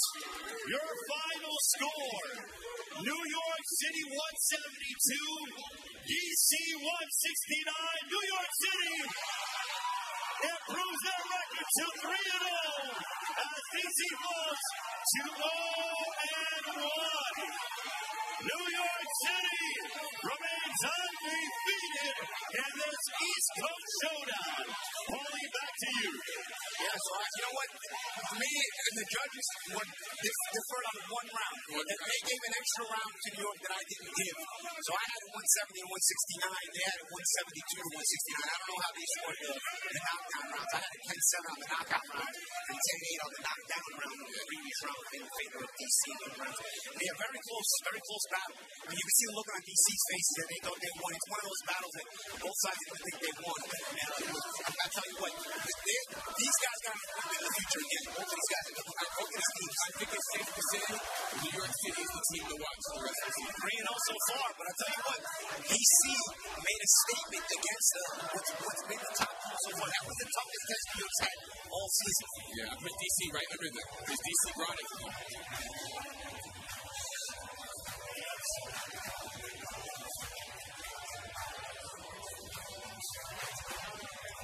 So right now, as New York City improves to 3 0, and you know what, Paulie, before we get out of here, we get ready for your interview with Ricky Dennis.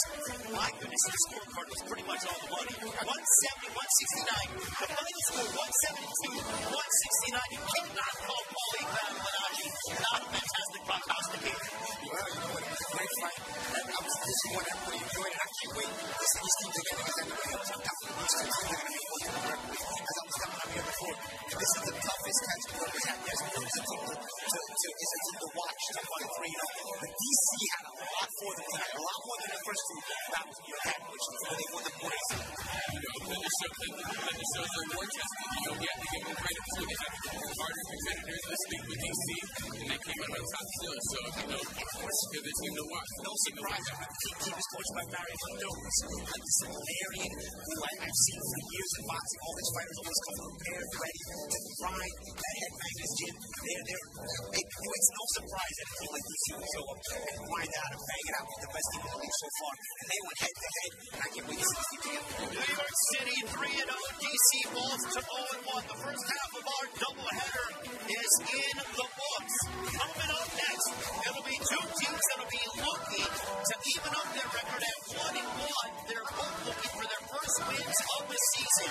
It'll be LA and Dallas matching up. Paulie Malignaggi earlier tonight had the opportunity to catch up with the head coach of LA Ten Goose, Ricky Williams. Thanks, Ray. here with uh, head coach of the LA Ten Goose, Ricky Funes. How you doing, Ricky? Hey, How you doing, bro? I'm good. I'm good. So after coming up short in week one. It's a new concept for everybody. How was it to experience yourself and immerse yourself into that into this concept in week one? Any, anything that you that caught you guys off guard by surprise? Anything you liked? Anything you're looking forward to tonight, or any adjustments really? You know. Uh, every, eh, you know, there's always this is the whole this whole concept. Everything is new to us. It's just one more. but our first performance was not as great as uh, it should have been because everybody was nervous. How do we do it? How do we do it? You know, um, I believe today it's going to be different. We've been training properly. We've been doing everything, simulating everything that we do in the fight. We're going in the training, and now we're going to do it perform here tonight. Uh, tonight, God willing. Is there any particular um, stylistic changes to the training that you guys do for something like this as opposed to you know the average professional fight you are getting ready for? Yeah, yeah. You know, the, the, the thing is that I've been telling our fighters is that we're not going out there and box six rounds. You, you can't go out there and waste time trying to set up everything. You got to go out there and try to do everything within three minutes. You know, box and put pressure and, and, be, and go at it be first. You be first. They throw two punches, you come back with three, four, five punches. You, you, everything that we do in there is going to be first. So tonight, win? We're going to win. All right. Our performance is going to be great today. Sounds good, man. We're looking forward to it. Right back to you.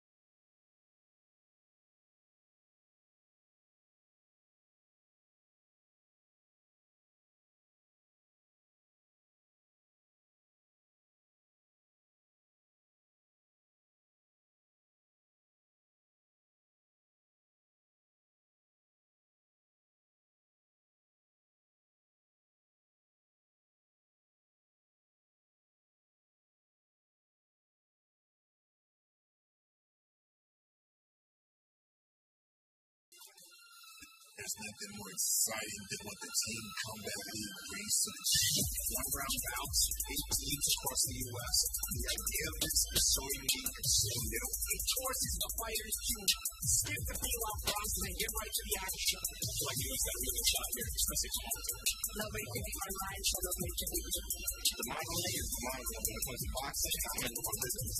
One round, and God gives it all this is going to be the future of boxing. I'm very excited to watch this. Warren had this tournament this week. One round, all what you have got. Even at any second, anything can happen. I got a three year old kid. I'm just ready to change my family's life. What's up? current to the ABF champion world. no way anybody can compete with us. to book the match. also, let's go. The opportunity that a lot of these fighters will be having is a six-figure pay, health insurance. There's endless stuff to it. I mean, energy, I ain't gonna get to you. I've been 10 times. Thank you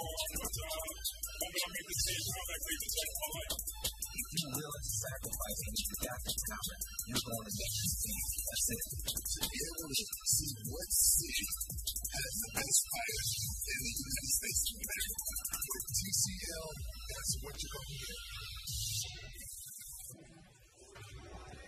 to get.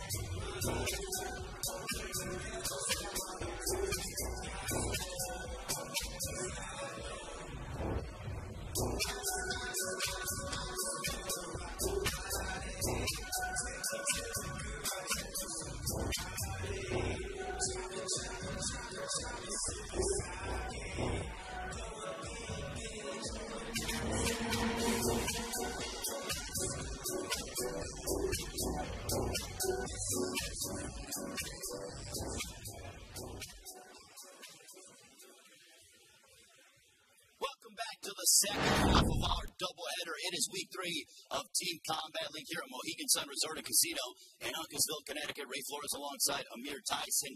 Well, we just got done with New York City matching up and colliding against DC, but right now, Amir, we look ahead at two teams who are looking for their first wins of the season. They both competed in week one, came up a bit short. It is LA going head to head against Dallas. So much on the line in the second half of our doubleheader. Yeah, I mean, a loss is always haunting, so they're going to use all of that momentum, all of that drive from losing and learn from it and try to come out victorious.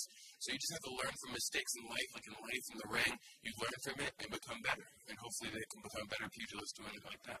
I look at when it comes to how Team Combat League shapes itself out, and I you really parlay it to the NFL. You don't want to go down 0-2 on the season because that is detrimental. The goal is for all the teams is to make the playoffs. There are only four playoff positions, six teams vying for it. So two teams are going to be left out of the playoff positioning, and this is a very important showdown for both teams in LA and Dallas. Yeah, I mean, whoever wants it more is going to win. That's for any sport, and especially boxing. It's Imano Imano, one against one. So once they get you in the ring, it's you and the other opponent. So it's up to them if they want to win or not. We could talk about it, but we have to see what they're going to do. If you're just joining us, we want to let you know coming up when it comes to Team Combat League, 18 rounds, six rounds, then a break, six rounds, then a break, and then we get ready for our final six rounds. At the end of the 18 rounds, every single scorecard is tallied up, and then we will determine a winner based on our scoring system. So every single round is so critically important to the success of your team. We now send it to the third member of our broadcast team, Paulie Malignaggi, with the fighter to watch from the LA Ten Goose,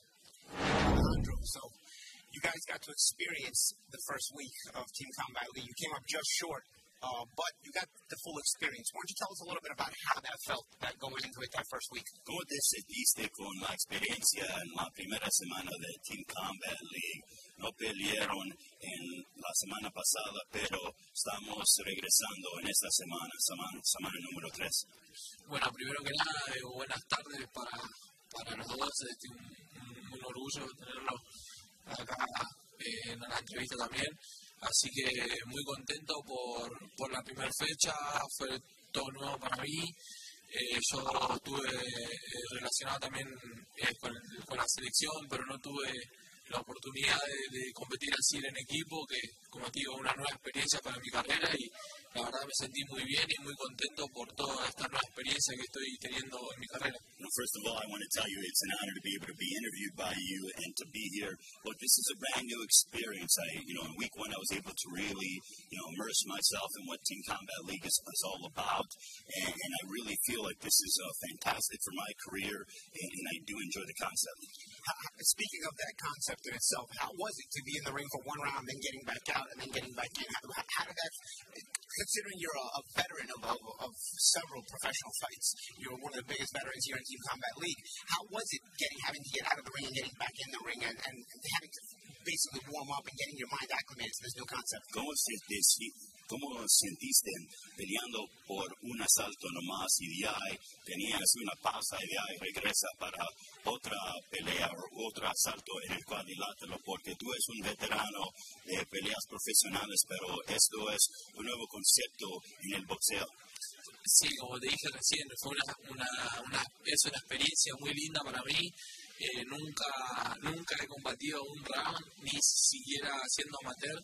Eh, sí que he, ganado por lo en, los, primeros rounds en las peleas profesionales, pero esto es totalmente diferente, así que para mí es, como te dije hace un ratito, es una experiencia muy linda, muy nueva y que va sumando a mi carrera, así que la verdad que es algo muy lindo también. It's a new experience. It's a great experience. It's one that I feel is going to benefit my career. And what's interesting is that even as an amateur, I never fought one round. I have fought one round or less as a professional when I win by knockout, but that's not the intention. But I do believe that this is beneficial to my career, and I am enjoying what Team Combat League is all about. Uh, plans for tonight? Plans, plans, how much? ¿Cómo los panes para la ¿qué Y bueno, nada, nosotros esta vez venimos más preparados porque la primera vez eh, era nuevo y no sabíamos bien cómo era. Así que siento que estamos mejor preparados esta vez y bueno, nada, salir a ganar. Yo tengo una mentalidad de, ganador, yo creo que esto es una experiencia linda para mí. Yo sé cuál es mi objetivo eh, a nivel profesional, que mi sueño es ser campeón del mundo Eh, pero bueno, como te digo, hoy estoy aquí, mi realidad es esta y yo hoy vine a ganar y mi equipo vino a ganar, así que estamos dispuestos a salir a ganar. My dream is to become a world champion, and I think this is going to help me along my professional career. But what, what's interesting about this is that, you know, we have experience from week one, so we are better equipped and more, we're better prepared, you know, as we head into tonight's event. Uh, I think we're going to be a lot sharper. You know, we have, I have always had a winner's mentality, and, and that is the goal. That's the objective for us to come out here and get a win. And I do believe in my team. Thank you, Alejandro. Muchas gracias. Muchas gracias, muchas gracias. Y Argentina salió campeón. Argentina salió campeón mundial, así que estamos muy contentos y, y muchísimas más ganas también. And Argentina came out victorious, and yes, we have to continue to provide more energy like I will do tonight. Ladies and gentlemen, welcome back to Mohegan Sun Resort and Casino here in Uncasville, Connecticut. This is the second half of our doubleheader. Both these teams are looking for their first win of the season. First, we want to welcome the LA Ten Goose, led by their head coach, Ricky Funes.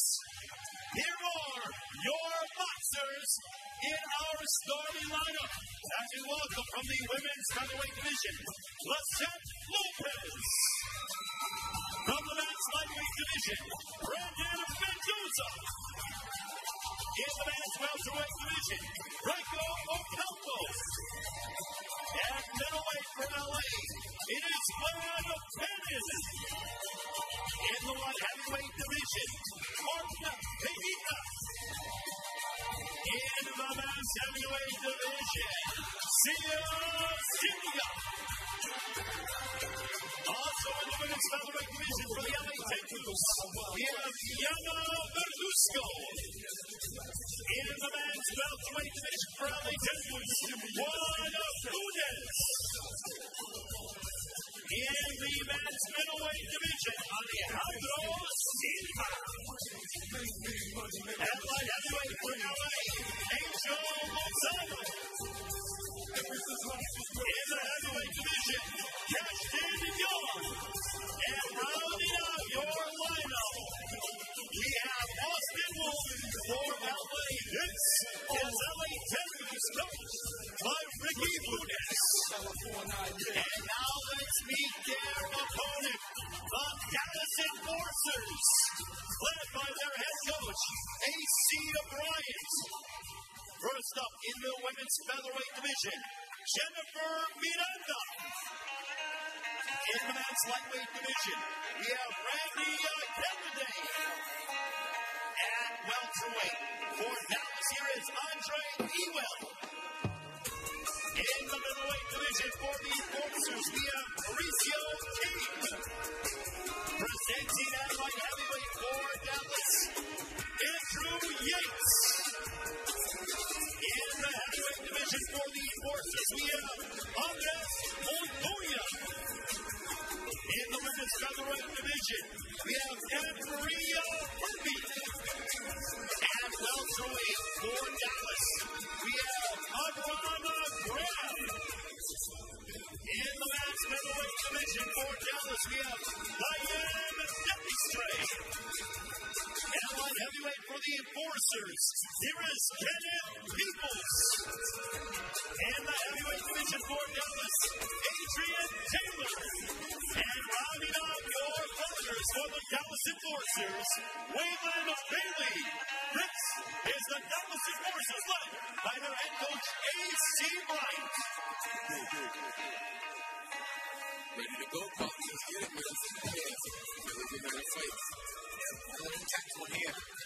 both teams really need a win after starting the season 0 1. are only, they've only performed in one week, so this is their second, their second competition. Simone trying to maintain that height. Lopez trying to close it.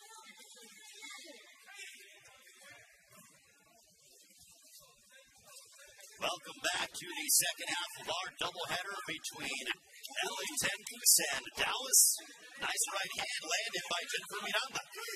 Catching Lopez on the end a couple of times. Two good right hands. She got to do a little bit higher. Lopez is going back. backfield. She's not there because she's still to the right at her. Miranda very relaxed in there. Miranda representing the Dallas Enforcers.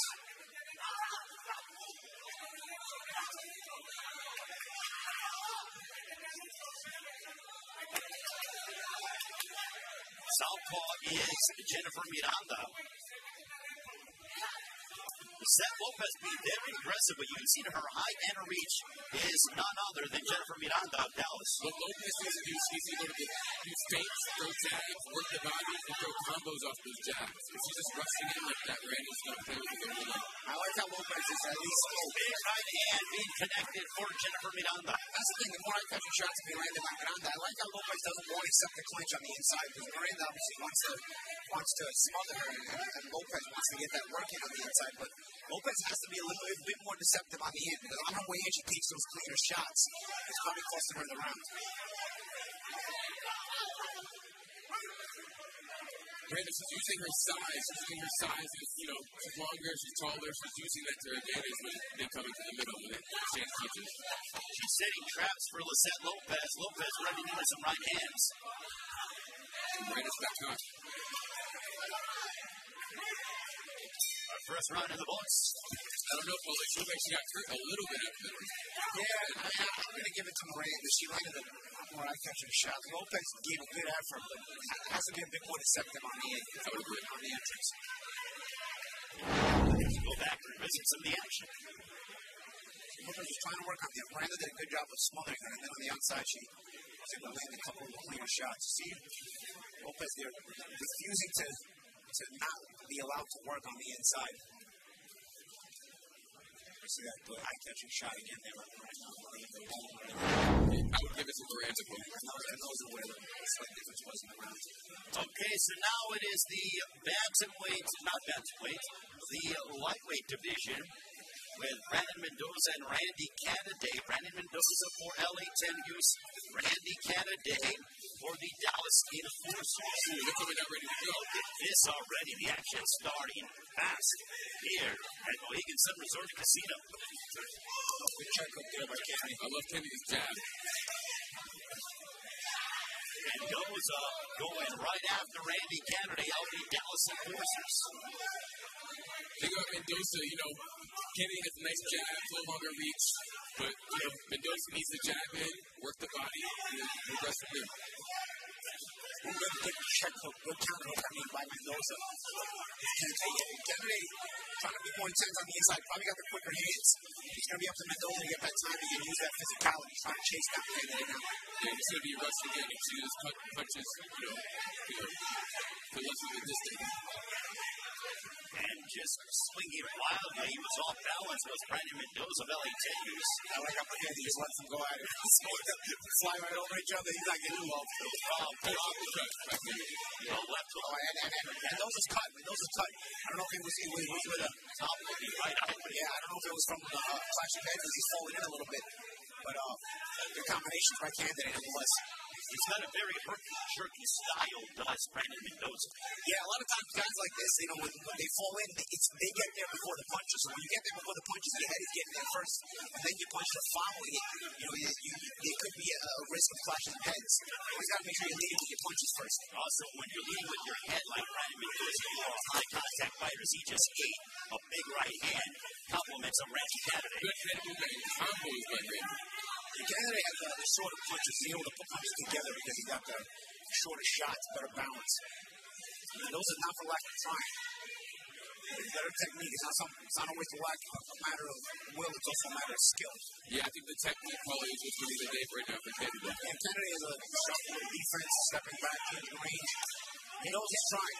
Kennedy's just a better overall athlete, as we are under Mendoza. He's just an overall better athlete. His feet are set more. He's moving well, whereas Mendoza is sort of kind of he has an unorthodox style, but he's falling around all over the place. Yeah, he's got to be a bit more deceptive on the edges. He's trying to get work his way inside. He's just trying to in as opposed to you know changing levels, maybe dropping some things, maybe just stepping in and stepping back out and then stepping back in harder. You know, it's you want to use various forms of deceptiveness. you're just trying to creep in, especially in the same level, you're going to wind up like this, you can he's going to see everything. He's going to get more confident, nice little sharp counter right here. I love how Mark, I, I love how, how he builds his head and body. I love how he also does that so many combinations after the middle over and right from Randy Kennedy as Mendoza fishing, but Kennedy always a step ahead of Brandon Mendoza. which is a and punches.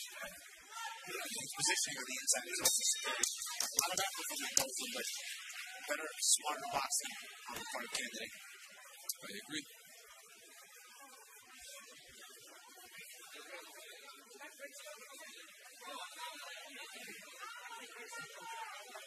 So round two in the books. Paulie. how do you have it so far? Got two rounds down for Dallas so far. As we go back and revisit some of the work from Randy Kennedy.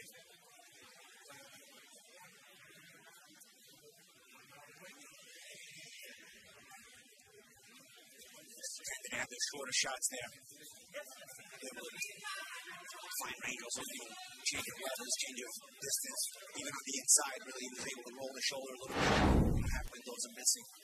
Also, coming up next, right now we have Franco Ocampo for LA Ten Goose for the Dallas Enforcers, Andre Ewell, Ray Flores, Paulie Malignaggi, Amir Tyson, here Mohegan Sun Resort and Casino. Off next week, a bye week. We're back in two weeks with week four of Team Combat League. What I noticed with Ewell right away is that he's a much longer reach, so he just needs to, you know, keep his distance and throw that jab and then keep that right hand right after. He just hammered great gold combo with the right hook. Evo was to make up his team physically as well. His shoulder is absolutely massive. Yeah, it doesn't look like a lightweight. A nice little right hand on the left ear complements a breakable combo. Close thinking for the fences. And about balance. And he will use that physicality Big make that pitch. Down goes Ragnar Campbell from the left. Supplement to Andre Ewell. Great thinking for Princeton, man. Abel, he lifted up that intensity. wasn't all clean shots, but he just it, he overwhelmed him with shots and a big left hand landed. Yeah, Chris Brunson. That left hook, reminiscent of that of when Brian Mendoza clocked Sebastian Fundora last weekend. Let's see how he finishes it. He hasn't hurt. He's finishing. So this is a big round for Andre Ewell and Dallas extending their lead. now LA's putting themselves in a hole here. Both teams, LA and Dallas, are 0-1. They're both looking for their first win of the season, a straight left from Andre Ewell upon Brent O'Connell. O'Connell shots as you have Ocampo hurt again. He will turn it up the heat. We will give O'Connell credit for standing up there, taking two clean shots, but he's staying two up, upright on the inside. He is getting caught clean out the Marquette. He's got to get out of the way as Frank O'Connell stumbling and bumbling. It's just a style matchup. This, this, this style is going to always favor Oladipo.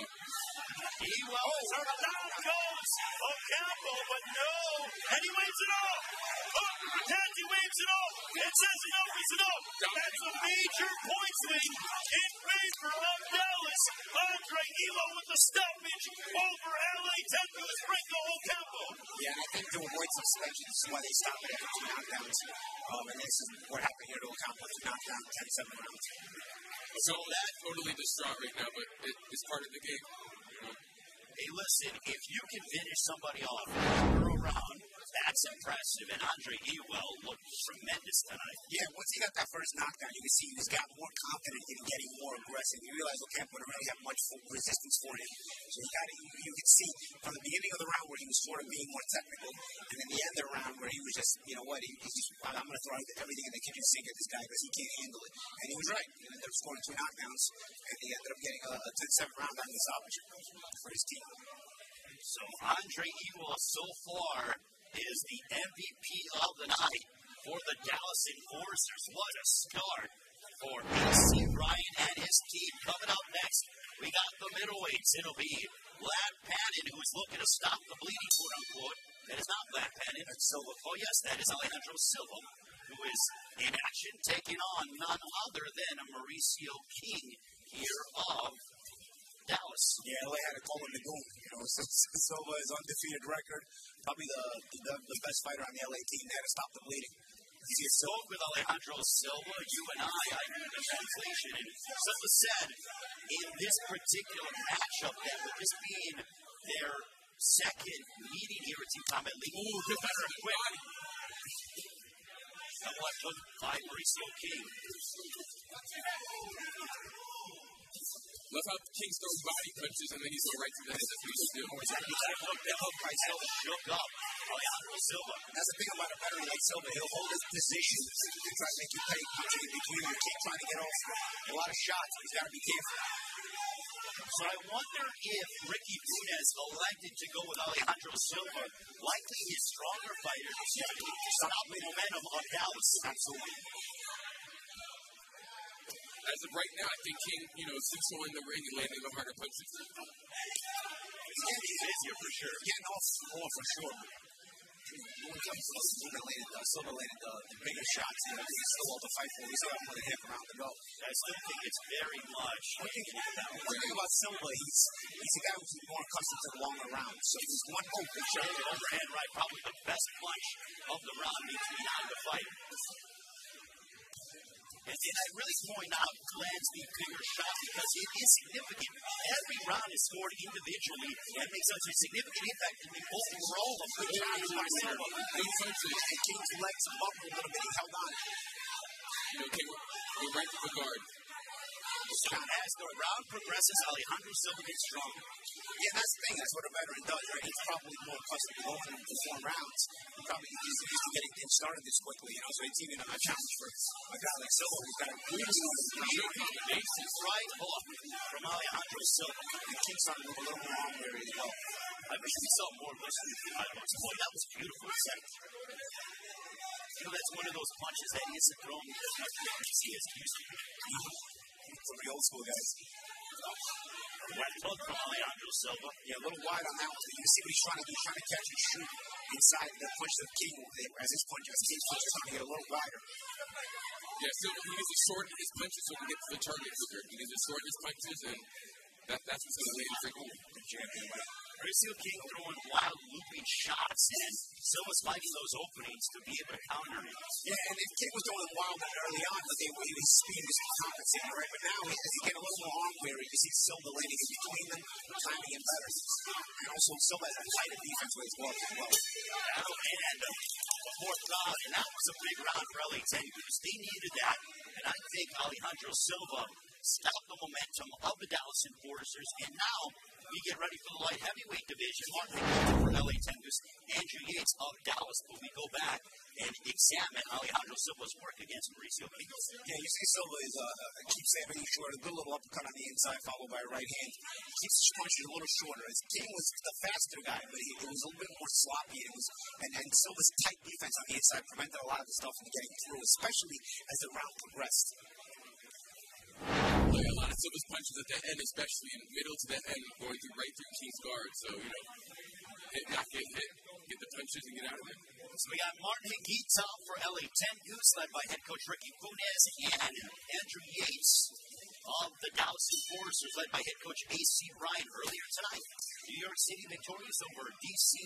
172 to 169 as New York City improves 2 3 0 this season. He looks a lot smaller. he looked at himself wearing glasses smart. Big right hand by Andrew Yates. Just start off. Oh, there's shots by he the bar. He's got the shorter shots. And Yates had him. He can't. He's coming straight up on the inside. I don't know what he's doing there. He picked his whole, his whole self up. He got himself caught with a sharp counter right from Martin Nikita. Outside of the physical with Nikita mean, looks like he could probably be a goalkeeper in soccer, guys, With is strength, Big right hand that lands upon Andrew Yates. Yeah, Yates is going trying to touch him, ball. He touched him in the beginning, he started trying to touch him again, and you don't want to be a part of it. He's going to try to do it. And guess what? Yates is too high up. I mean, that's the thing. Yates is standing too high up on the inside. Go from the uppercut, great to he just making some of the small environment where they're not that close range. I don't mind the guy staying up high from long range. From my close range, you got to bend those knees a little bit. And then get good left hook. Yates just throwing punches recklessly, but he has technique and skill behind it. You know, that's going to affect, you that's going to affect him yeah, this is one of those things he's going to go back to the gym. Learn to find those kids on the inside way too high up. He's hit wants it up on the inside. given a lot of effort here, but none of those punches are really landing. He's just trying to use his physical body to push it even back to the ropes where he's just smothering himself anyway. he's using his jab followed by a right hand that connects upon Andrew Yates. Yates he has no leverage. Like like Morrison is like bending his knees. If he bends his knees, he'd have more power. i tell you, yeah, exactly. That's a good point too. I mean, it's also for offense, it's not just the defense. The fact he's not bending his knees is also causing him defensively as well. He's too high up. That's like if you get a say a kid at will make sprint, he ends to be in trouble because he's taking some clean, clean shots. It's a nice right hand that great, Andrew Yates under a minute to go in the fifth round. They both look exhausted, but they got to push through. You know, one more minute. Beats Andrew Yates another big round for LA Tech who's in panic and they could have done it, Paulie. Instead, Ricky Funes has rallied his troops. Yeah, it rallies. They got oh, a lot more to do. 10 10 second round really hurt them uh, in terms of deficit. Good defense by Martin. He keeps uh, moving his head just enough to stay out of the range of Andrew Yates of Dallas. Final moments of this fifth round. As we head down the stretch with Martin Higgins and Andrew Yates. A solid round for LA Ten, who are facing an uphill climb down by a considerable margin to the goal. Oh, worth shot. That's a right by Martin to punctuate the round against Andrew Yates. And just seemed like the skilled, professional boxer, and then Yates seemed like a, a brawler just throwing records. So he has to go back to the and like you said, yeah. his legs, you know, do what Yeah, absolutely. Yeah. He's got a lot of work to do.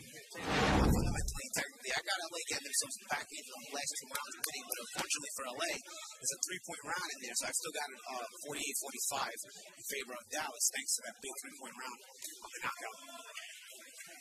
As we go back, and here is some of the work of Martin Nikita, who is trying to get the LA Tenders back into this.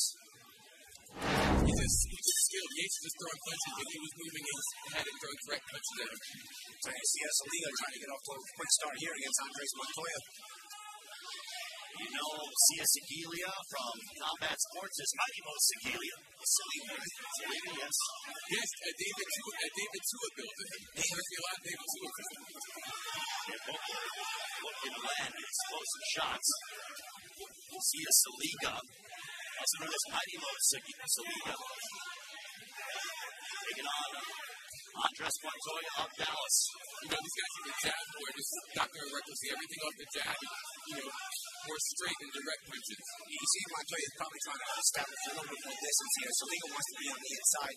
But it's even, even still, you're right, I mean, Saliga's just still trying to use his jab to get inside. He's trying to creep in, stop with his jab. You know, that big right hand, good defense by Montoya. Contrast Montoya needs to use his feet and his legs to try to frustrate the veteran in Saliga. A couple extra pounds on Montoya. I don't know much legs he's going to have. He's using too much, but he's boxing the ground so far He's taking that distance you know, as heavyweights, they're going to get fatigued quicker. So, you know, they should throw everything they have right now. They should, they should let their shots a little better. One thing to worry about, too, is 85 minutes had one minute. It's a big coconut in the You don't want anything get that. time. You got to know how to put you up. Good exchange here right hand for Andres Montoya. I think Montoya is getting the better of the limited exchanges that we're seeing. This lead almost seems to be doing here is cutting off the ring. He's not, he's not the greatest guy in the face. He's got Montoya circling around him. This lead will cut off the ring. He's making it look quite a lot easier on himself to be able to close that gap on Montoya. Yes, Liga looks like he's thrown all that he's had. He looks so tired and exhausted. Yeah, and his way to turning is a really to close that gap. Montoya's able to does have that shot selection.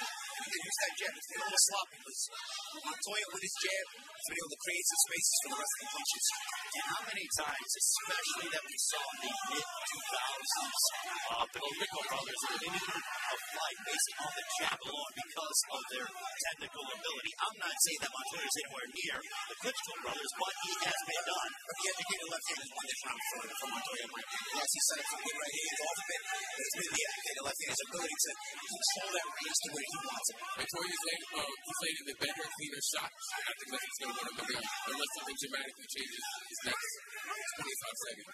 Nice overhand right from Andres Montoya of the Dallas in four series. Don't forget, we have a bye week next week. We're back in two weeks with week four of Team Combat League. New York City atop the division 3 and 0. Six teams vying for four playoff spots. In of the of June, we'll have 2 semifinal semi-final matchups in the championship in July. I think that was a fight where Montoya dominated. Montoya looked good for the Dallas Enforcers. He knows that he was likely the better of the two. And that'll end our first six rounds between the Dallas Enforcers and Ellie Tengoose. Amir, take us through what we saw.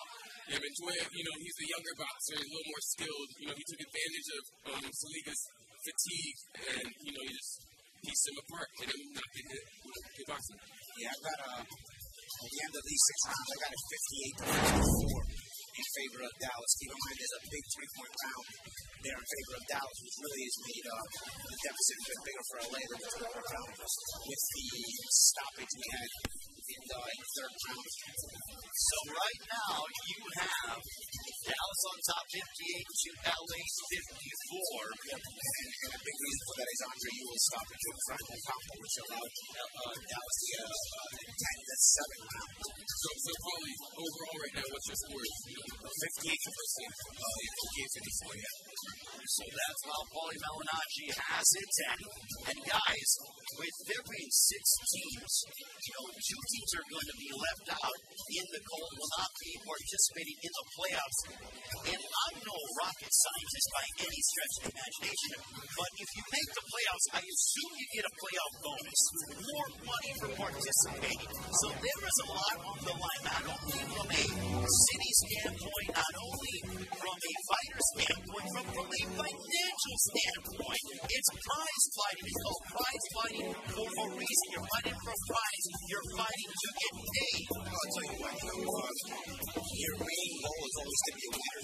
That's, you know, when I started boxing, I, I obviously we all want to be right, but when, when you're a winner, you winner's plays to follow. And that's why you want to be sure you want to focus and fight hard and train hard to win.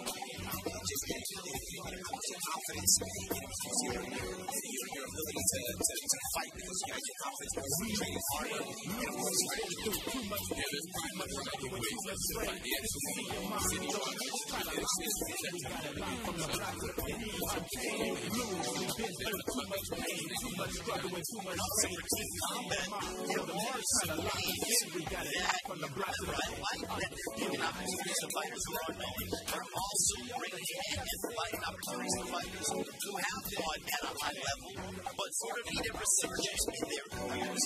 Names like the Mocking Shit, Earl Rubin, but you also see Fred Youngster, who is the brother of Ryan Garcia, who has passed fighting at the Mocking Age. John Garcia is on LA 10 he's not fighting tonight, but he'll be back in two weeks from now.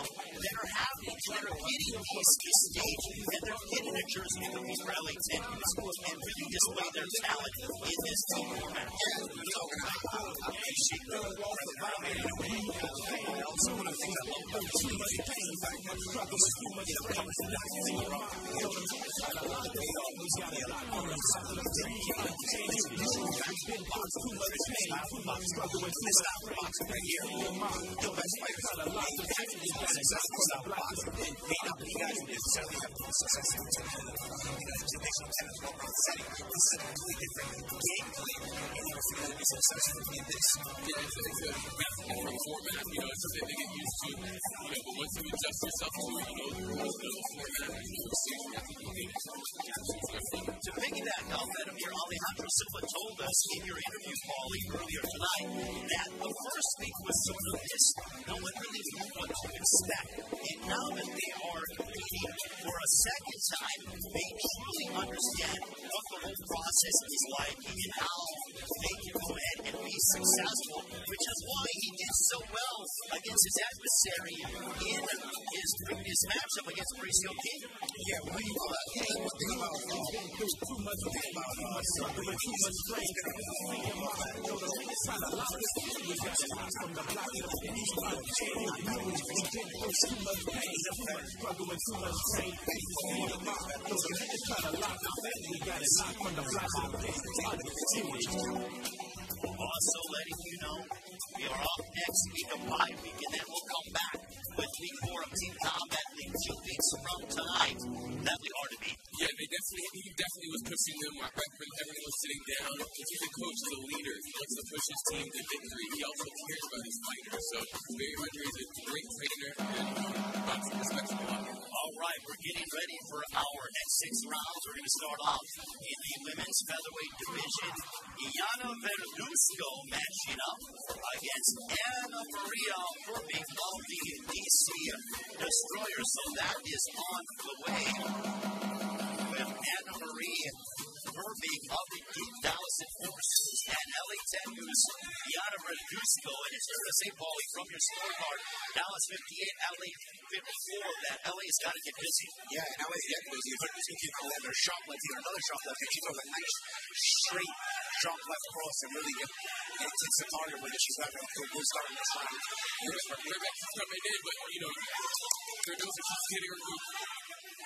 Good hook shots, good check hooks. Straight now, the that's why. Sharp left gloves there on the part of Guzman. She has a, a nice standing right hook as well. Iana Verduzco being successful with that straight left. There's not a nice style in this, I tell you. But it's good game speed too with the combination short punches and frontal punches technically very correct. Definitely a proposal like this on a right hand by Rabika. Rabika with a nice hook. She turns southward for a big hook. I don't think Verduzco is expecting a good hook there by Rabika. Good response or the Mercante. It's not like the um, extracurriculars they're doing by the first one. We're being like her movement. She faints too, you know, a lot. She's, she's dropping some foot in there as well. Uh, there it goes again. She has to change the levels. There it goes again. See, she's. she's I, tell you, I, I like how Beats trying something different, though, because the conventional stuff's not working. How she ran in, had, her, had, had producer trying to land a shot before, before she turned south one door for a nice right hook. And she absorbed a straight left from that loose She got a little too aggressive, and she paid the price for it. Every, uh, Bernie's business has her with the punches right you come in and Rebecca's coming in recklessly, not really guarding her hands that well, and she's attacking her every time she does it. She's a nice style, Trajan. She does a little subtle thing. got a step back jam right there. i You get the sense of a good foot. Ooh, good southpaw jab. Good It's almost like a jab look that we saw out of that Deuce Coast. Hey, look, she set her all the time. She left that back up. Her big, her in trouble. She walked into a counter right hook and the straight left. And I tell you, I'm very impressed with some really nice footwork, nice sharp punches. Good effort by Verbeek, but Verdugo was uh, a class more, more talented and class more. Yeah, Verdugo. Thanks for that. Well, well, I, knew I, you were going goal perfect. Yeah, perfect. Well said. you and I were taking that for down pass. we take a look at some of the action from this women's featherweight class. It really was a subtle thing. That was a good right hook there by Verdugo that turns out. But it was a subtle things Verdugo does. You know, see the drop, the drop and change, the level, little thing, step back. This, the jab as she steps back and then followed her up with a left cross. They should there, but nonetheless, nice work. Now we got Juan Munez of the LA 10 who's collided against Apron Randall of the Dallas Enforcers. Good punches by Munez, right to the body, leg combinations, he's letting his hands go. That's not easy to do. Loomis is relentless in these first 20 seconds. That's what he needs to do. Well, look, the answer back is Labron Graham. Loomis trying to throw inside of Graham's combination punching at Graham's not all along. So Funes needs to watch out for Graham's counter punches because he comes in recklessly one time, you can tackle him. Graham is being the aggressor here against Funes. It is Funes who is trying to be more of weight and, and try to counter that of Graham. You see Funes trying to catch him. shoot. He's trying to keep that tight guard while Graham throws almost point and then try to punch in between them. See this going for that this thing. He's not stopping throwing the He's not going since the round started. Yeah, Graham is just literally throwing caution to the wind and saying, Hey, I gotta bring the fight to Funes. Man, I, I don't mind that game plan. If Funes seemed to have the better sense of timing, so Graham said, you know what, let me vary activity so that I can win the round this. And this is why Funes is putting the around as we speak. But I don't think Funes has landed anything significant. I still think the fight hangs in the balance because I, I don't think either guy really sees control of the round one way or another. 40 seconds left still a lot to go, but I think Brave has been a lot more accurate. A lot more accurate. Funes has to. Funes has to. He's got some legs like Taiwan, but he's got to get off those shots just like that. After this game, what he's trying to do, the whole catch and shoot, but he's also got to be aggressive. He can't just be counterpunching in, in this setting when it's just three minutes. 15 seconds to go. I saw Grant land a beautiful, sharp little left. And Funes just answered with the right hook of his own. Let's see, Funes scored a nice shot. Funes scored a nice shot, but then Grant comes back with six, seven shots in a row, and that's you know, in, in a one-round setting, that's, that can be a big difference. Again, Kun has no response. Kun's not doing anything particularly pretty, but he's very even activity, and that can win you the round in you have minutes. Just by aggression alone and throwing punches and being the busier fighter, I think Graham is winning the round 100%. That's what Graham, Graham is the one that's been busier the whole fight. Graham's not hustling one. Funes. almost seems to be waiting for that one singular shot, and Graham is out hustling him, out working him, and that would be significance in the fight. No, that was says, i not going to counter You look at that perfect moment to counter, and that's what really food is waiting for. You look perfect moment where Graham gets it up, daylight in between the punch and those combinations, where he can punch in between trying to catch it. So Graham Pratt doing is putting together to have even that feeling. I love those. Every time he comes at Graham, he throws combinations right away, right to the body, uppercut, jab, jab, everything. He's throwing away punches as we speak. There's a straight left followed by a right hook by Brand beating to the body of Juan Cunas. I think Brett, his work rate has made a difference. Yeah. And also, he's been able to land some big shots down the stretch, opening up the guard of Watkins. Yeah, you can't win, really win the round if you are going to keep your hands on Graham won this round simply because he him literally. I mean, it wasn't like super skillful. Like, you know, we saw that round that Kuzma was really skillful. And Graham didn't do any of that. I He, he, he won that round because he wanted to win it. He started the heart of it thing about Raymond is he was consistent throughout the fight, and he kept on throwing punches. Absolutely. He oh, And that, that consistency was the key to that round. I mean, it was, it was the consistency on the part of, uh, Funes. Funes, yeah, he didn't do anything in this fight. At all. So now we got Vlad Patton matching up as he will take on Diana Debistrate of the Dallas Enforcers. So, Paulie, I believe that Dallas is probably increasing their lead from your standpoint. Yeah, in these second six rounds, I got a one really get for the first round. For the first six rounds, I mean, you know, it was I had uh, Dallas up four points, so they're still four points on my board. Maintaining their lead, but that can all change. Black added now for LA Ten, who's compared to that of Diana Debbie for Dallas. Both teams are 0 1 this season. We are in week three of Team Combat League. The top four teams will qualify for the playoffs. There are six teams total. Next year, season two, we are expanding to 12 teams. I love how Pam and he's throwing doing feints and throwing he keeps, keeps on throwing his jab right in his face. We'll see what he can do from that. are more punches and bunches, more combos from that we'll see. And the brother by Pam, he seems like he's setting up a little bit more neatly. The bench looking for something, but he's, he's, he's throwing shots a little bit too far out and he's a lot of times like just keep his hands on the pad, you can see he's trying to set things up. Just relax, and in is relax. Oh, there's a left hook. Down goes Jeffy straight, but no, says Arthur Mercante and Ellie Tendu saying, come on, you can't give that to us. A little bit of thing there. We'll go back and take a look at that replay in between rounds.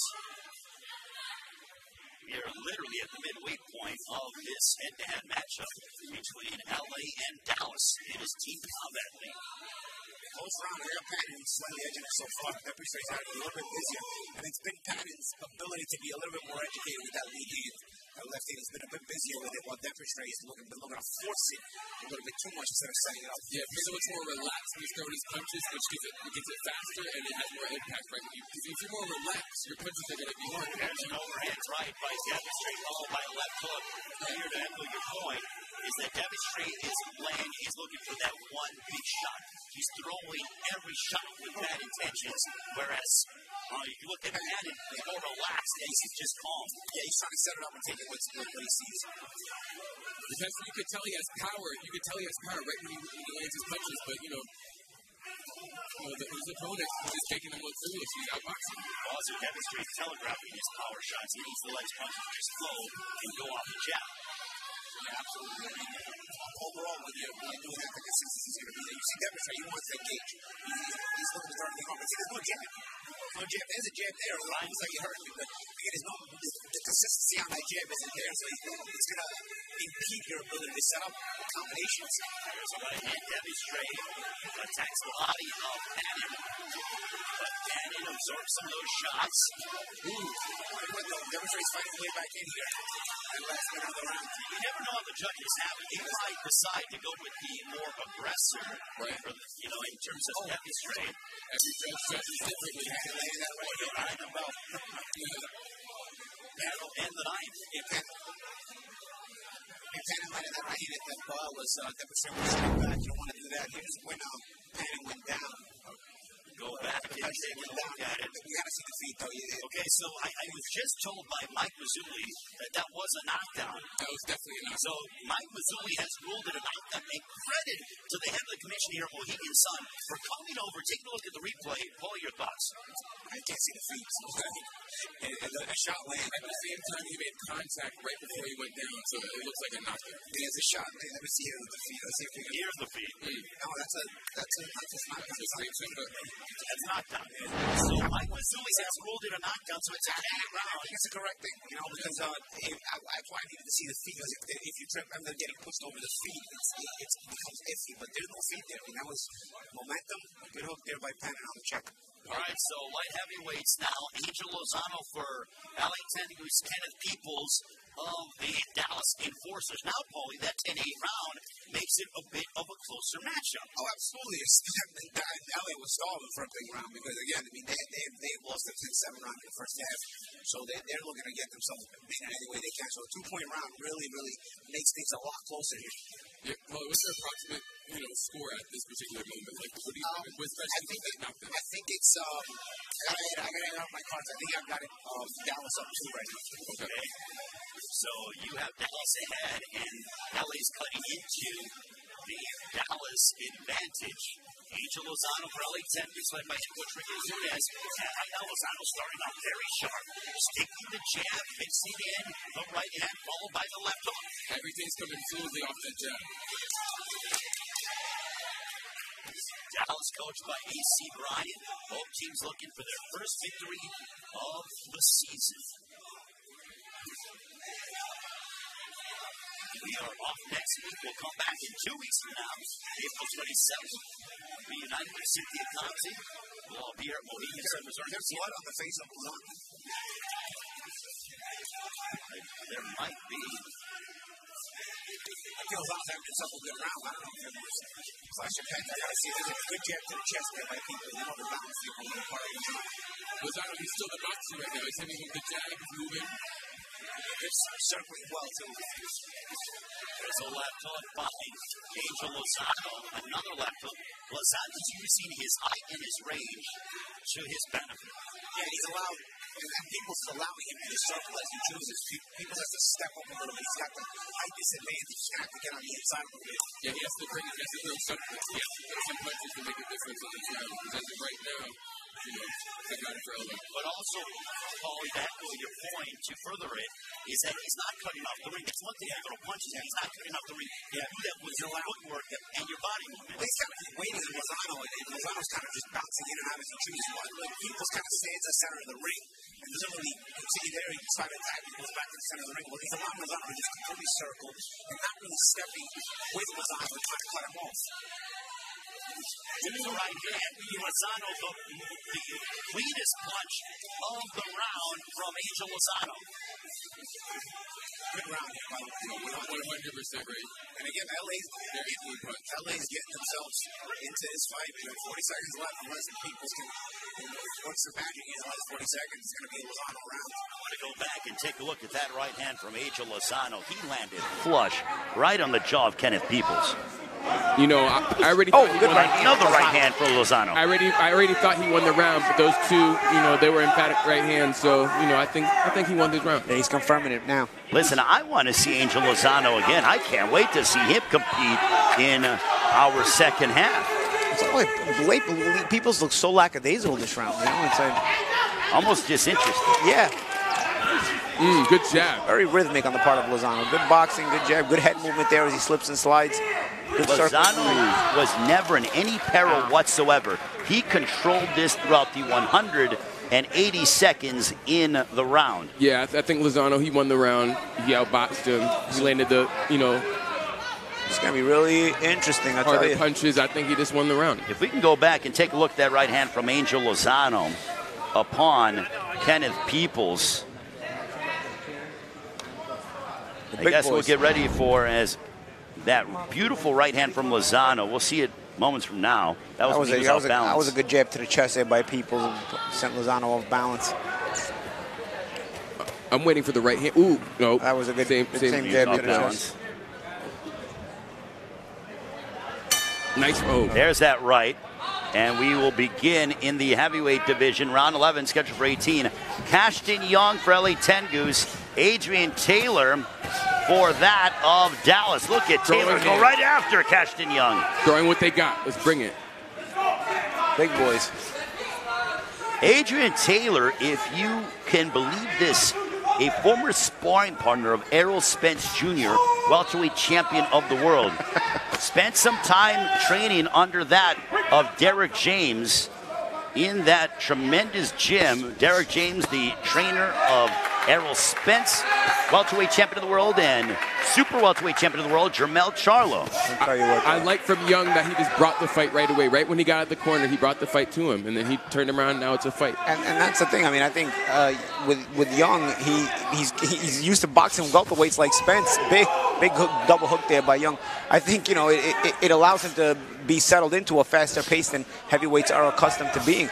Also, why am I not shocked that Spence also spars with heavyweights, right? I mean, well, that know, At the time, though, Adrian Taylor was a cruiserweight still, for Dallas. Now he's still. a full-on heavyweight. But still, that's a that's a big boy fighting someone against that's, a welterweight. So. I mean, look, that's just kind of the beast that Errol Spence Jr. truly is. Yes, sir. He's a monster. And, and, when you're learning under guys like Spence and Charlo, you pick up a few things, especially in that gym with Derek James. So Adrian Taylor looking to be quite an asset to the Dallas Enforcers. But Cashton Young is being busier than that of Adrian Taylor. Yeah, absolutely.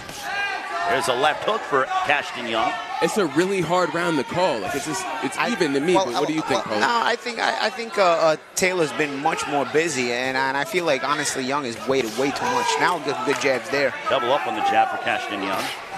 Right hand over the top. Ooh. A sharp right counter for Adrian Taylor. Yeah, I as feel like, we have under a minute to go. Yeah, I feel like Young is going to have to have a big final round. Good body shots there. Ooh, good shot Adrian by Taylor. Taylor with a sweeping left hook. Ooh, good Followed by a left hook and a right. Ooh, good exchanges here from both guys. It's almost like, like Young doesn't know how to go find it himself. He needs Taylor to close the gap for him, and then he punches back. Look at this distance. You, are a guy who needs the round. Young doesn't go get it. He, he, he waits on Taylor to close the gap for him. I think a lot of it has to do with fatigue, and he's a big, big boy. So you know, he, pun- a lot of punches. That, hasn't been that active though. It's been it's been Taylor who's been more active in the round. Yeah, so that's not even. Cashton Young pretty much has been moving scenery and a moving target for Adrian Taylor to be able to land upon. Again, I mean, a, a lot of the times these rounds are decided by who wants it more. You know, you and you sometimes you see that yourself. You know, the viewer at home, you see, you know, you see skilled guys you just see they just don't go get it. They don't they, they, they, they don't want to work as hard as, as, the, as the opponent, and they cost Ooh. them the round. Overhand right for Adrian Taylor. That'll end the round. I mean, Taylor threw in combination the whole round. I mean, he, he went and won that round because he wanted to win that round. Also, when it comes to how the breakdown of this fight, Adrian Taylor took it as a fight. I felt like Cashton Young thought he was trying to warm up and be in sparring mode in many yeah. instances. Yeah. yeah, good point, Ray. I mean, who knows? Maybe he is used, used to being a sparring partner. And that's what it looked like to me that Castellano was trying to just get some good work, but it's not about getting good work. It's about hurting your opponent. Especially when your team really needs these rounds. You know, they are behind and you're trying to get, get, get out of a deficit. It's the hurt business, Ray, you know, so they got to do some hurting. Yeah, your dad knows a few, a little bit about that, right, Amir? Yeah, definitely. Coming up, we have Austin Wolf for L.A. Um, LA Ten Goose and uh, Waylon Bailey of the uh, Dallas enforcers. Ooh, good job by Bailey. Bailey starting off using his boxing IQ. The most fundamental punch in the sport is the jab. Ooh. Right hand by Waylon Bailey. That rocked Austin Wolf. Bailey's the way bigger guy. He's a way bigger puncher, so he should just use that size and, you know, just crowd him. Just get right up to him or be more aggressive. You know, use that weight advantage. Little by by Bailey, trying to get his way in. I think Austin Wolf needs to weather this initial storm of Whaley, Ooh, Bailey over Dallas. Counter right, the counter right, there by Bailey. Yeah, the counter catch and shoot by Bailey, and that he's getting confident. He's throwing some big shots. Waylon Bailey with the right to the body of Austin Wolf. Wolf is a little bit too high up on the inside man. Again, I, I, mentioned, I stressed that a couple of fights ago with a couple of guys. When you're inside, you want to bend those knees for defensive purposes. Obviously, for attacking purposes as well, as you have more leverage. But for defensive purposes, on the outside, you stay up high, okay. But on the inside, you want to bend those knees. And, and that's the problem a problem Wolf has right now. He, he gets close and he, he stays a little bit too upright, and Bailey's been able to land some good shots because of it. Yeah, Wolf what he needs to get any opening he sees, he needs to attack it right away because you know Bailey's just you know as of right now, I think he's winning the round. Also, too, if you're Austin Wolf, when you have the height advantage, you got to be able to move your head because against a smaller man, you have your head in a stationary point. You're going to be susceptible to that overhand right. Especially if you're going to be that, that that close of range. At least if you're on the outside, you, know, you control things with your jab, you control the but he's But you see a left hook. He's close. For Waylon Bailey. He gets in close range, and then he stays up high. That was a headbutt right there. Flash your head. there's blood, or there's a mouse on the left cheek of Waylon Bailey of the Dallas Enforcers. Yeah, I think I think it was a headbutt because right when I said that, it started bleeding. And, and again, Wolf having a problem on, on the out. He's up too high gets caught with punches on the exit because of his inability to keep his positioning down low when he's that close range. Ooh. There's a right to the chest by Waylon Bailey of Austin Wolf. Bailey just the most do more dominant fighter in the fight. You, you see how Wolf, you see how Wolf, they throws a combination, but he's coming up as he's throwing. You know what I'm saying? Like right there, he had a good chance of you know, throwing a nice combination, but he, he, brought himself up as the punches got to the third or fourth punch of the combination, and allowed Bailey to you know not have to take such big shots, and also allowed Bailey to be able to fight. Ooh, overhand right, knocking out the mouthpiece of Austin Wolf. You got to be careful now to protect yourself at all times. He tried to call his own time out there. He's lucky the referee allowed him to.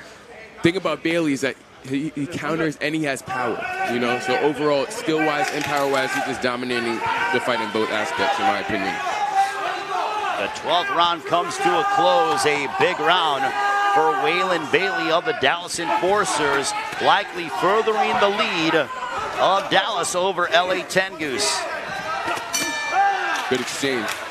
That'll end the 12th round. So, 12 rounds are in the books. Six more remain. It is Team Combat League, week number three here at Mohegan Sun Resort and Casino earlier tonight. New York City victorious over the DC Destroyers, 172 to 69, or to 169, I stand corrected. As let's go back and take a look at some of Ooh. what has been terrific action here yes, I would say I've been saying ooh and ah all night long too, Amir. Yes. It's been so much fun. Great fights, man. And look at that. That was the finish there by Andre Ewell over Franco Ocampo. He dominated him this fight, man. Well, that was a 10-7 round, a significant momentum shift for Dallas as they started off strong and – Paulie is tallying up his scorecard as we speak, so I will allow the master to go about his business. But Amir, this has been fun to watch. Yeah, I literally was going to ask Paulie what he had on the scores yeah, you know, at this we'll break. wait for Paulie to let us know when he's tabulated everything. But And then we look at Sia Seligam, who looked like he came up short against Andres Montoya. Also, Iana Verduzco likely getting the upper hand over Anna Maria Verbeek of Dallas. But listen, all these fighters are coming out. They are bringing their best. They have 180 seconds to go to work, and then another fighter enters the ring I love this concept. Yeah, I love it because you don't know who's watching, right? You know, so these guys they have to know they have to bring it all. That they have to bring everything. You don't know if PBC's watching. You don't know if Top Rank's watching. You just have to. You know who's watching? Everybody's, Everybody's watching. watching. Everybody's watching because it's a Thursday night, and guess what? You're sitting at home, exactly. you're chilling, a, and everyone loves guys, fights. I'll, I'll, be honest. This is a cool concept. If you're missing, if you're a, if you're a boxing fan, if you're a boxing fan and you're not watching, you're missing out. You're missing really, out. you know, you're, when you're a boxing fan, you're always searching out boxing and what's on and what's not you know. And during the week, you know, uh, I, I, know I work at Pro Box TV every two Wednesdays. We got our yeah. shows there. But here, you know, we're on a weekly basis. Obviously, next week we'll have a bye week. But yes. it's, it's, it's not only that is it boxing, which boxing fans will watch any boxing, but this is terrific boxing. This is really intense boxing, high high level boxing, but demanded action boxing. You can't win in, in Team Combat League if you don't go for the action. But also, so it automatically, look at the it's automatically entertaining. Look at the coaches. Dewey Cooper for Las Vegas. You have AC Bryant for Dallas. Ricky Funes here for LA. Barry Hunter of DC. There are quality coaches, and when you think about team sports, the most successful teams and we got nine New York. times out of ten, New York exactly. Benny Roman as well doing a, the, marvelous. The thing job. about these coaches, they're great leaders and great mentor to these fighters, so they're going to push these fighters even more when they don't when they want to quit, when they get tired, when they get fatigued. They they're gonna they're gonna push these fighters to the next level so they can win.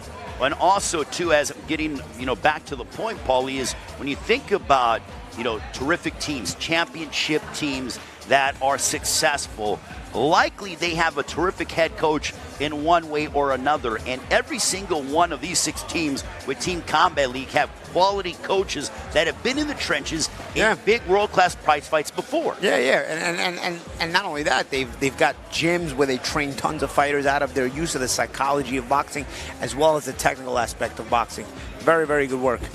By the way, I've tallied up my scorecard. Okay, so, I've got so Dallas. it, Paulie? I've got Dallas. I've got Dallas up 114, 111 right Wow, so 114, 111 is how you have it in favor of the uh, Dallas enforcers. And, and, keep in mind, there was a 10-7 round in favor of Dallas in the first half, and then there was a 10-8 round in favor of L.A. in the second half. So you have da- Paulie Malignaggi has Dallas on top, 114, LA 111. Yeah, so that was a my, three-point the, advantage. What you're looking at on the screen is the first six rounds how I had it. That was after, that was at the end of the first half. I had it 58-54, in the second half, I, I, we've, I tallied up my second six rounds.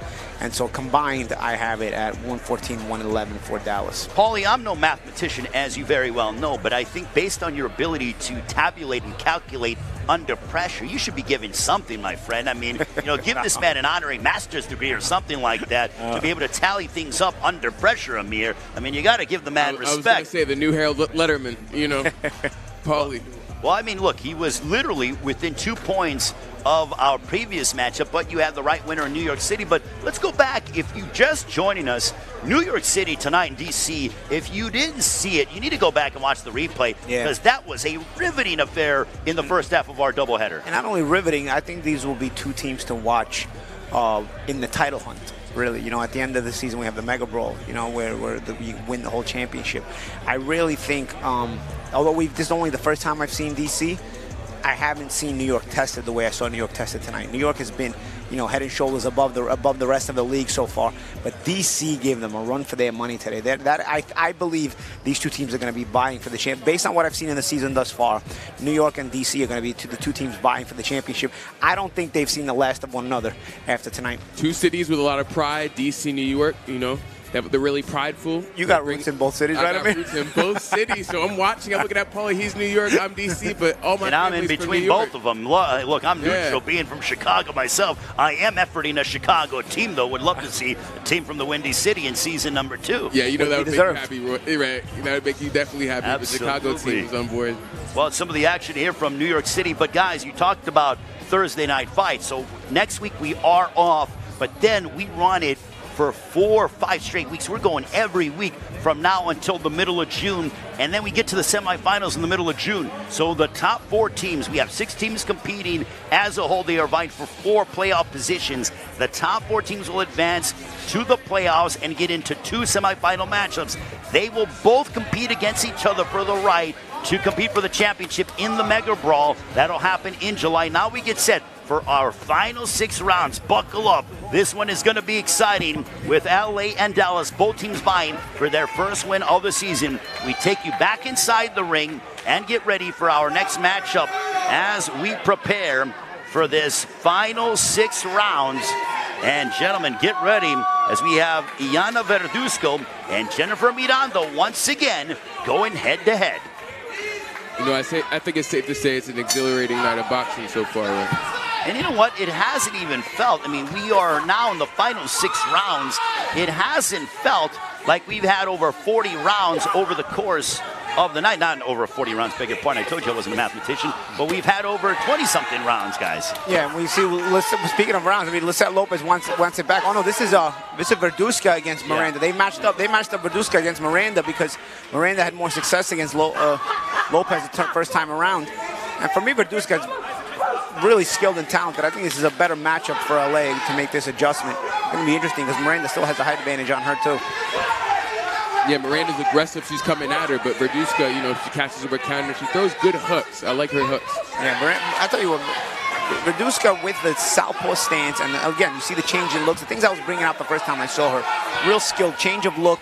You see how she see no, she paws with that lead hand, tries to hold and catch and shoot. Good right hand there to the body, though, by Miranda on the way in, as there's a clinch now. And Paulie, to echo your point, Verduzco was successful against mm, Ooh, Verbeek, whereas Lopez or Miranda was victorious over Lopez. So now you have the two best women's featherweight going at it against each other, representing their respective cities. I'll tell you what, it, it, the good check hook there by Verduzco, this is something where intensity also wins you rounds. But as far as pure skill, the, uh, the, Verduzco is the most skilled of the females I've seen so far in this league. Now, that doesn't mean she's necessarily going to match intensity with every single opponent so far, as this round itself is is close. But as far as pure skills, he does all the subtleties that I, that you don't always see in fighters. You know, a lot of times when Verduzco oh, comes takedown as well. When, when Verduzco comes in, Miranda just clinches her and grabs her immediately. That might be part of her game plan in this round. What do you think, Paulie? Yeah, I mean, you see now Miranda's trying to get her to go straight back there because Miranda wants to use her height. Verduzco's not, I'll tell you what, second time Verduzco uses the takedown effect.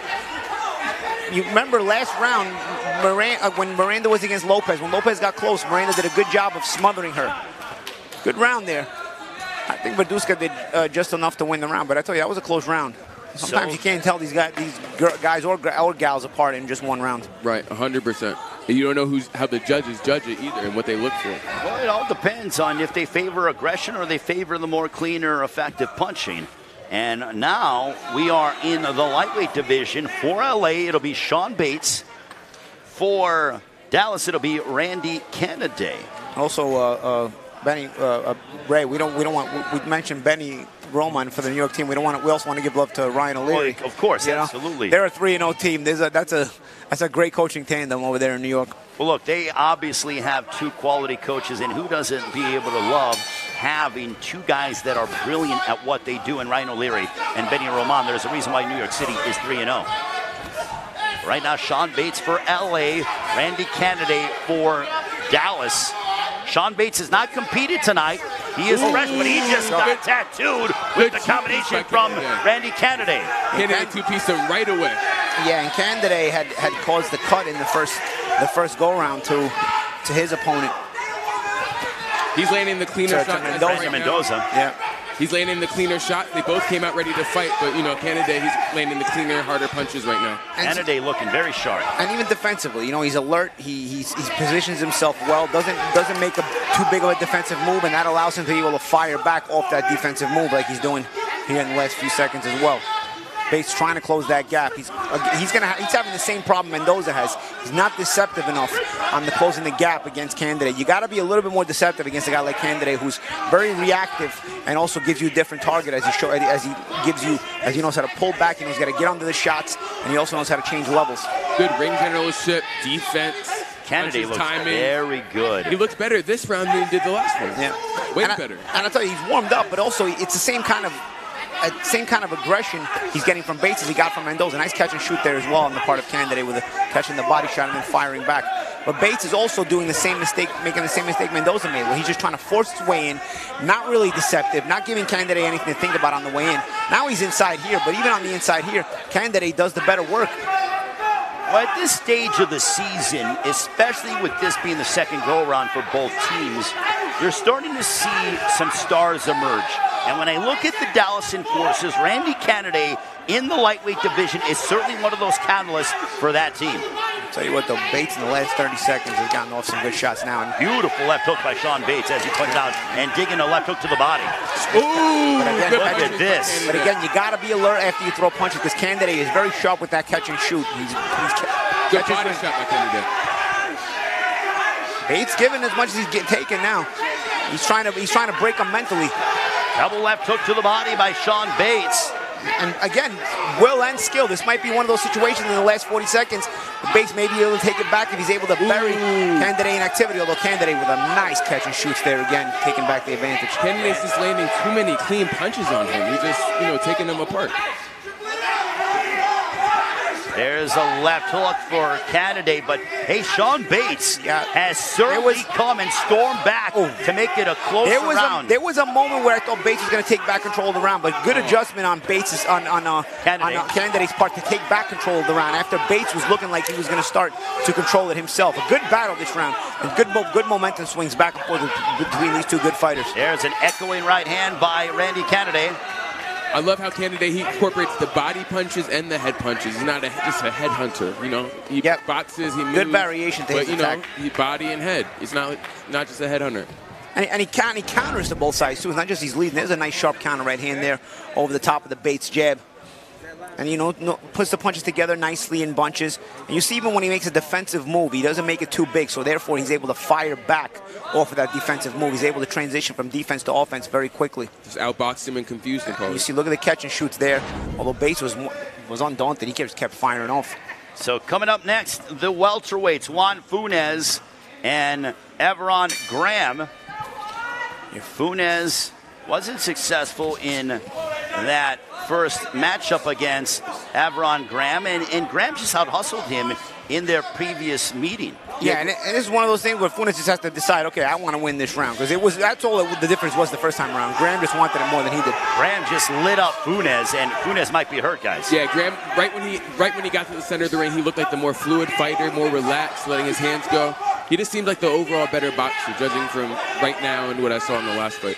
You know what else I think is cool about Team Combat League, guys, is that the individual team gloves. I think that's such a cool concept with the logo on there and everything. Yeah, uniformity. Grammy. Great job with Team Combat League, week three.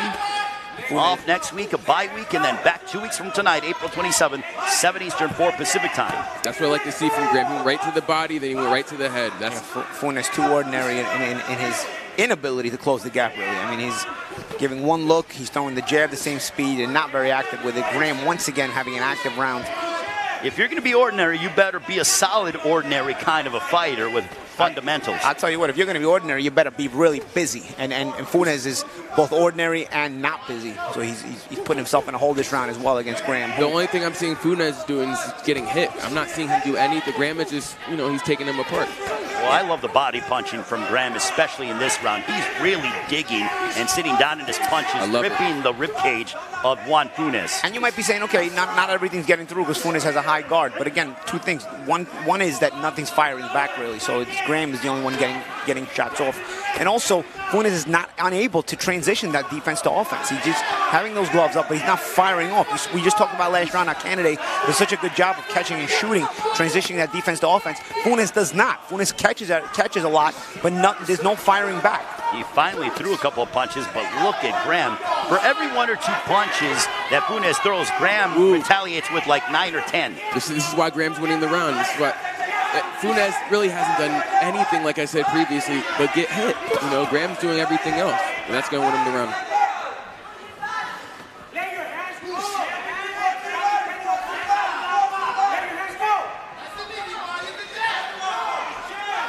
Dallas and LA looking for their first win of the season.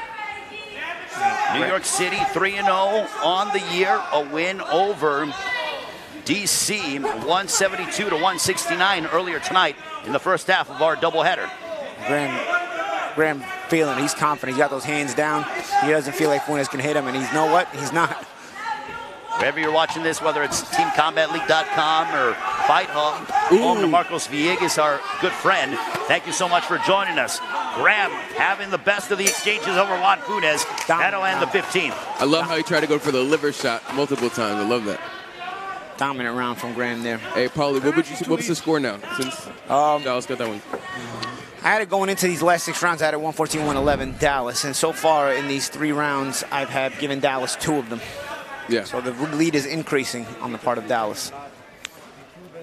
We shall see what LA does to minimize that lead. Well, I mean, let's see if eh, LA, they got some work to do. And I think it's to the point, Paulie, and I am not, you know, obviously uh, a mathematician or rocket scientist, but I would say that you need a couple knockdowns if you're LA. You don't yep. even need just a stoppage. You need speaking, a couple knockdowns. And speaking of knockdowns, the last time these two met, Panin was able to drop the with a check hook. So, but it, although it was otherwise competitive, so let's see if the is able to get something back here. The is strong though, and he has a lot of umph in his like in his jab and his punches. But, but Panin, nice just, jab there. Speaking of jab, you know, Panin's just a better boxer. But we'll see what changes this round. Tell you what, Panin is going to need probably another knockdown to help his team along any way he can. Good jab, Panin. And this is what is so exciting about Team Combat League is that let's say Panin does get a stoppage over DePestri, then guess what? The scores get closer, and LA, they still have a chance. You still have three more rounds to go, three separate matchups that can change the trajectory of who's going to take home the W. I'll be surprised at a stoppage between these two. These two are very, very evenly matched, even the first time around. Yeah, the he seems more relaxed right now than Panin, even, from my observation. Nice hook there by Panin. But even the knockdown in the, in the, the first time they saw each other was a check hook. It was a half a bounce shot, half of a uh, a punch that landed, I think rightfully called a knockdown, but nonetheless, the Pestre wasn't hurt. Just good skill and technique. Well, you say you hear what they say about halftime adjustments. We have two intermissions in between every six rounds, but DePestre has used more of the adjustment of using his jab to be able to throw some of that heavy leather. In his previous meeting against Panin, he was just throwing big power shots, telegraphing his punches. Mm -hmm. Yeah, good body shots by DePestre little, little better shot selection this time around by DePestri. Mainly, he's using his jab. I mean, now he's able to convert that into a hook. Echoing right hand by DePestri. Because he has Panin looking for the, for the jab, and he was able to turn it into a hook and right hand there. I just think DePestri's stronger. Left hook by Vlad Panin, who lit up DePestri as he came forward. A left hook by DePestri, though. 75 seconds to go in the 16th. Penny needs to loosen up a little more. He knows he has the boxing skills. He just needs that like muscle memory. Everything just flow. Let his hands go. Good evenly matched fight between these two guys. Good, two, two good skill guys. Well, when it comes to potential leaders for LA 10 Goose, I think Vlad Panin, he's been a constant in the two times that we've seen him over the previous weeks. Mm -hmm. No, absolutely. he's, he's a consistent fighter for LA. Uh, but ooh, oh, good left hook by DePestre, followed by a right. This is a close round, man. This is gonna be all the fight for here in the last 35 seconds. I think this round hangs in the balance, guys. Yeah. A crushing right hand by DePestre. Oh, right hook followed by a left hook. I think Dallas, you know, DePestre got this round just by activity and just punches. Hand was a little tense. He didn't throw as much. But I think it's 1-1 tonight for both of them. Yeah, unless Panin gets something back here in the last 20 seconds, I, I got to agree with you, man. The Pastry sitting down in his punches, and it's just mind-blowing at what the jab can do for you. Yeah, absolutely. Small adjustments, a little short, a little short right hand by Panin, but I don't think it's enough. I think it's a Depestri round, and Dallas's lead continues to increase on my scorecard. Does LA have any chance of coming back, Paulie? With I mean, they're gonna need numbers right now. They're gonna need some knockouts here, knockouts, not just knockdowns. Yeah, back to back some good work there. Good, good, good, good, good, good jabs and, and, and short combinations there. We just saw a good right hand there on that replay by DePestri as he threw a shorter shots on the inside. A little bit of holding and hitting there on the part of DePestri as he held Panin behind the head, head while using the uppercut with the other hand. There's a sharp right hand over the top of Panin's jab. So Good what is your score guys. right now, Paulie? I mean, as you see, you have, uh, what, Dallas? I haven't, these I haven't added up in the second half, okay. but I'll tell you what, going into the last third, I had 114-111 Dallas, and this this go round, I've got Dallas winning three of the four rounds. Okay. So, that, so that means that lead has increased. Yes. Well, right now for LA, final two rounds to go in this head-to-head matchup. Alejandro Silva and Mauricio King. Alejandro Silva needs a big round for LA 10 because Ricky Funes, I'm sure, is urging on his middleweight to go out and try to make a big impact and try to get a knockdown or two. And Silva is very capable of doing that. Ooh, good. There's an echoing right hand there, right on the left cheek. Great right of King. Good body shot there again. King trying to be busy. And you, see, you can see Ooh, a left, left hook, hook there by Alejandro Silva. Yeah, he makes his shots count. He's not as active as King, but he makes it count. Because a lot of King's punches are just hitting his arms. They're not overhand they're not right by Silva. They're not actually landing punches. Yeah, I think King should be feinting to try to get Silva to bite a little bit and maybe get those hands out of position. You see Mauricio King, his eyes are wide open because he has been clocked with some heavy leather from Alejandro Silva. Also with the guard Silva gives you, you can paw down that lead hand of, of, of Silva. Like you can use your left hand to paw down that, that lead left hand of, of Silva that's close to his guard and then try to come over the top of it with a big overhand right. We've seen guys in the in the pros do that. I remember Fernando Vargas used to do that a lot, you know? When it comes to strengths for teams, I think that LA Ten Goose one of their key strengths is the middleweight division. When you have a Vlad Panin and Alejandro Silva that you can trot out there to compete against an opponent's and a fellow I, team's, you know, middleweight competitors. I'm inclined to agree with you, Ray. The only problem LA has is that might be their only strength so far, what like, we've seen. Like King, he's throwing punches, but if you really look closely, not, most of them aren't landing. Silva, he's taking his time, he's throwing less punches, but they're landing. Yep. yep. The judges are seeing them. Better, the better technique on, uh, is definitely on the part of Silva, and he showed that the first time in the first go-around between these two. And as you said, Ray, the middleweights are, are, are an asset for LA. Also, Chuyanov Verduzco for LA Ten Goose. Now, I say that, uh, but, but, right. but, Dallas Ooh, is oh, head down. No! Great right oh! hand. King, my goodness. Great There's right a knockdown for Alejandro Silva. Wow, Ray. Right, Ray, a good asset, too, for LA. Well, there is a momentum shift for LA. Alejandro Silva with the knockdown as we have 43 seconds, but back comes Brazil King. Oh, down goes King, and that's the second knockdown. Is it ruled a knockdown? It's over! Oh my goodness! Alejandro Silva stopped Brazil King, and that's a major point swing for continues. Great execution, you, great boxing, you know, and like Paulie said, he needed a knockout, and he did. Two knock, two knockdowns automatically was a knockout, guys. So in case you're going at home, you're wondering why the stoppage. Automatically to to avoid big suspensions because these guys got to compete every week. There's two knockdowns, there's an automatic stoppage. 10-7 round for LA. Their ace, their ace came in and did the job. And you know what? Silva had a knockdown against Cangelosi when they also fought against New York. So this guy, right this guy's hand. power. Brutal. Sweeping right hand. That's what I'm saying. That sweeping right hand's coming back. And, and, I let me go ahead. And I very rarely do I ever do this, but who said that Alejandro Silva had the propensity to be able to do this, guys? Oof. But I'll tell you Did what. Not forecast that. Yeah, but we, you know what? We saw it already the first time we saw him. You know, against Angelosi. You know, Angelosi is a good is a good ace for New York. Quality. Silva was able to get a, a knockdown the first time around that he saw Angelosi, and here he gets the stoppage. Silva is a big ace for LA. They just got to be able to work that momentum to the rest of their weight classes. Let's see now with the heavyweights. This gets interesting. A 10-7 round. I think LA needs another big round. Let's see if they get it. Well, Siliga. now we have Sia Siliga against Adrian Taylor. Siliga for LA, Adrian Taylor for Dallas. A close matchup yet again between two teams that are looking to improve their standings. These two teams, however, looking for their first win of the season. New York City 3 0 on the year. LA and Dallas looking for victory number one. They are both 0 1 so far in the season. Yeah, Silva, he changed momentum. I think it was the best performance of the night. And we have to see what um, Siliga can do from that. It's all on him now if he really wants to win for LA. Well, now you go with the battle-tested combat sports veteran in Siliga for LA if you're Ricky Funes. For Dallas, if you are AC Bryant, you turn to Adrian Taylor, who has been in the trenches sparring wise with the likes of Errol Spence and Jermell Charlo. Yeah, Taylor has a propensity to be active. Ooh, mm, good punch good shots by Siliga. But the problem Siliga has is I don't know about his conditioning, man. He seems to get tired very easily. He's already looks a little bit fatigued here, and his intensity has dropped and we've only gone a minute. And it's not like he was that active.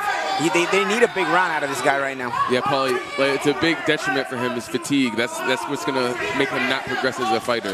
Boy, things have tightened up on the scorecards. That stoppage for Alejandro Silva over Mauricio King. Good combination. Cut into this Dallas lead. So we're trying to take it to to Taylor. Again, he, he, he, needs to cut off the ring. I mentioned this in the first time around. He, he's, he's, following Taylor. He needs to cut him off. He's going to get. He's going to put that pressure. Hey, Paulie, what's the current score on your scorecard? Well, we'll allow him to tally that up, and uh, you know, coming up. But I do believe that it is very close, Amir, to your point. Yeah, just, it's very, cl- very close, very close fight. So now, who is going to bite down on their mouthpiece? Who's going to dig deep in these final 63 seconds? Yeah, and I haven't done the math yet, but I'll tell you what, I, I know LA mathematically needs at least a knockdown on my card, maybe maybe the stoppage. So they need something big from Sia Silligum in order to be able to try to swing things in their favor. And I tell you what, in comparison to the way Taylor fought the first round, he's kind of cruising here. He's giving Siliga a chance to win this round. He's very relaxed pretty much I'm going to be like when I get home this weekend in Chicago. Thing about Taylor, it really shows his sparring experience with Spence and all these other prominent fighters. He's using that for his advantage, and he's showing us tonight. I think, though, Taylor is allowing Siliga to hang around, and I think Siliga's outworking him. Yeah, this round he's taking it to him, and Taylor kind of has gone into kind of cruise mode this round. It may not cause Dallas. Who knows? I, I, I believe Silica needs at least a knockdown here. And Big it, right hand on it, the left ear of Taylor. And to his credit, he, he went searching for it the whole round. He did. Oh, see a Siliga show. There's a reason why he's been in there against the Ooh. world's best. They are swinging for the fences to end, and that'll end the 18 rounds. Wow, what a head-to-head -head matchup between Dallas and LA. Alejandro Silva certainly has made things a bit more exciting. As you know what, a few toss-up rounds potentially. I still believe that Dallas will likely get the win and improve to one and one. But LA came to fight and they brought it, especially down the stretch. Honestly, like Silva, it, it's when I saw that right hand, it was picture perfect. It was a beautiful right hand. He led the momentum, and I think LA won that last round as well. And how about the elder statesman in Sia Silicum, with LA, their hopes and dreams riding on both Alejandro Silva and Sia Siligum. Silva gets the stoppage, a 10 7 round. Then Sia Siligum, being the combat sports veteran that he is, after he got worked by Adrian Taylor to come back and take it to the youngster. Like you say, who wants it more? Like Paulie was stating earlier, who wants it more? And that's if, if you're going to push yourself to the limit and push yourself to no return, that's going to get you the win a lot of times. I'll tell you okay, what, guys. Paulie, so got, how do you have it? I got another one-point uh, oh, matchup. Oh, come here. on. I got it 169, 168. Oh, the, my the gosh. The difference here, the difference here with my scorecard with New York and um, and and and uh, uh yes, and, and DC and DC, DC. is that it, it was a momentum was going back and forth. One would take the lead, then the other would take the lead. This particular matchup, though, I had Dallas the whole way with LA trying to claw their way back the whole time, and they did. They clawed their way back, but I got them coming up a point short despite that. I had Dallas winning the whole time, but LA managed to close the gap, but not enough to get the win.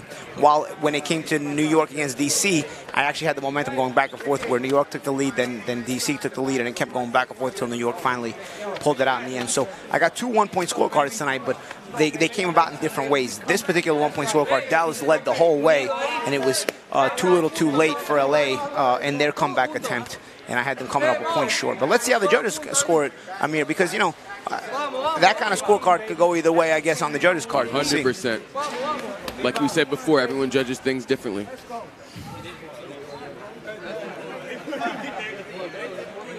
Different style of judging, you yeah. know absolutely. And, you know, there's one or two rounds that could go you know, maybe to one side or the other.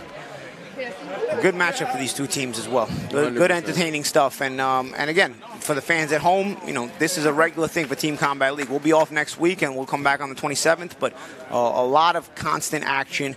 As you can see, the way the format is set up, that's the way it's always going to go because every fighter comes in one round at a time, fresh, and they go right to it. And we're here with Ray to for him wait, to announce the scorecards. waiting, victorious. Waiting for these scorecards now from Ray Flores to yes, see sir. who the official judge's winner is. Again, on my scorecard, I have Dallas winning by a point, 169-168. Let's hear Ray give the scorecard.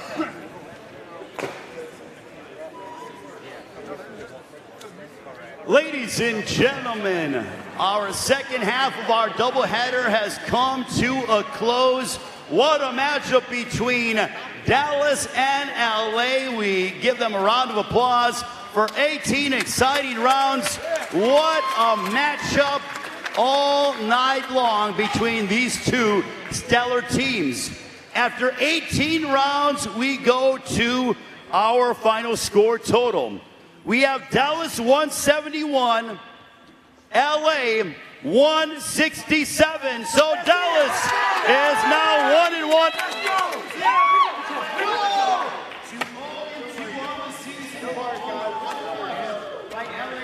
Goose.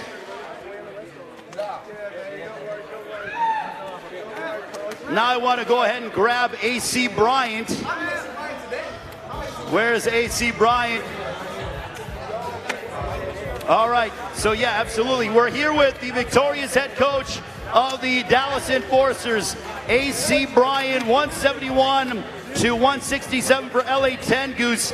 AC, what did you feel was your key to victory here tonight? Oh, like I said last week or last time we were here, uh, we have we go deep, and so uh, I think that was our strategy when we went recruiting uh, fighters. We didn't go for just a superstar; we went for a complete team. Uh, I just want to thank uh, Team Combat League uh, for giving this opportunity. Shout out to my wife, Yuka, kids, AC, four through five, and Vivian and Hannah. Just thank you very much for this opportunity. it's great doing this for Team Combat League. Hey, Dallas is here. So what stood out to you when it comes to from an uh, individual fighter's performance? Did anybody really stand out to you? Uh, uh, for sure, everybody did what they were supposed to do, but obviously uh, AJ did uh, did an amazing job. Uh, we had uh, Montu doing an absolute amazing job. Of course, I had to be, I want to say the biggest up, up, upset of the night would have to be Montoya versus the Mighty Mo. He did exactly what we needed to do. We came in with the game plan, understanding we needed a box and showing everybody know that we are just more than the uh, one-trick pony. So, what is it like to get your first win with Team Combat League? You guys are 500. There's a bye week next week, and uh, obviously two weeks from now we are back, and you guys will once again compete in your third outing. Well, I, am just going to tell you, uh, it feels good to uh, get the first win. We should have won the last one if we had everybody fight, but you know, some people don't have the uh, the gusto to put in the ring. But it is what it is. I want to thank everybody for this opportunity. We coming back next week. Like I said, Dallas is here to stay. We're here to make a statement, and everybody but he put on notice that Dallas is here. How much do you want a playoff berth? There are six teams competing, vying for four playoff positions. Uh, really, there's not six teams competing. There's five teams. We already got our slot. Everybody else is going for seven second, baby. All right, ladies and gentlemen, the Dallas Enforcers. And my goodness, Paulie and Amir, this is a very happy Dallas Enforcers team. Gentlemen, back to you. Yeah, and uh, you know, a, great, terrific win for Dallas. Also, LA, uh, uh, some credit to LA as well, because, you know, it looked like the way they got things started and coming off the loss they had the, first, the, the week one, you're looking at this team and you're thinking to yourself, do they have enough to compete in this league? But you know what? They they made their way back into this battle and made it close. Dallas held on for the win. But um, uh, something to look forward to from LA as well because they brought some momentum into the later part of the of the of the competition here tonight against Dallas, and it'll be interesting to see because now at 0-2 they've got to bring it, they've got to start right away. But a credit to Dallas, the way they look, the way they won, the, the depth of their team, as their coach just said, and uh, looking more forward to seeing them as well. Now they go to one and one, and uh, we'll see how the how the, the season progresses, and we're back in two weeks. Paulie, I think some building blocks when it comes to both teams. As I look at the Dallas enforcers with AC Bryan. To me, I look at guys like Randy Kennedy, Andre Ewell, who I thought was spectacular for Dallas. And I thought that they really started strong. They held on in the end, but it just goes to show you why every round is so important. Exactly. And, and, and that's why you need that depth. You know, you either jump out to a good score, a, a good lead and then wind up holding on, or sometimes, you know, you wind up needing those late rounds and your team gets it. When you have that depth, that's what you're able to do. It Tonight, Dallas jumped out to a very big lead lead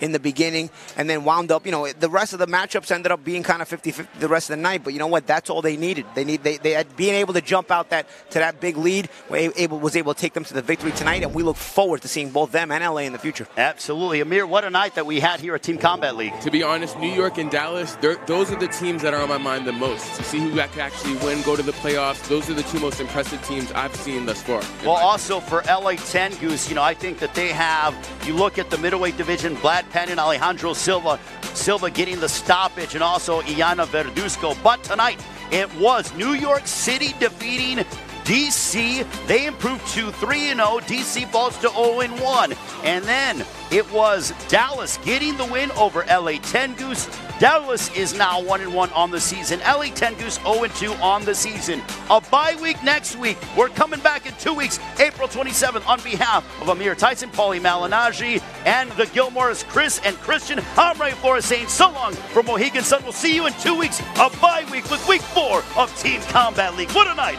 Good night from Mohegan Sun here in Uncasville, Connecticut.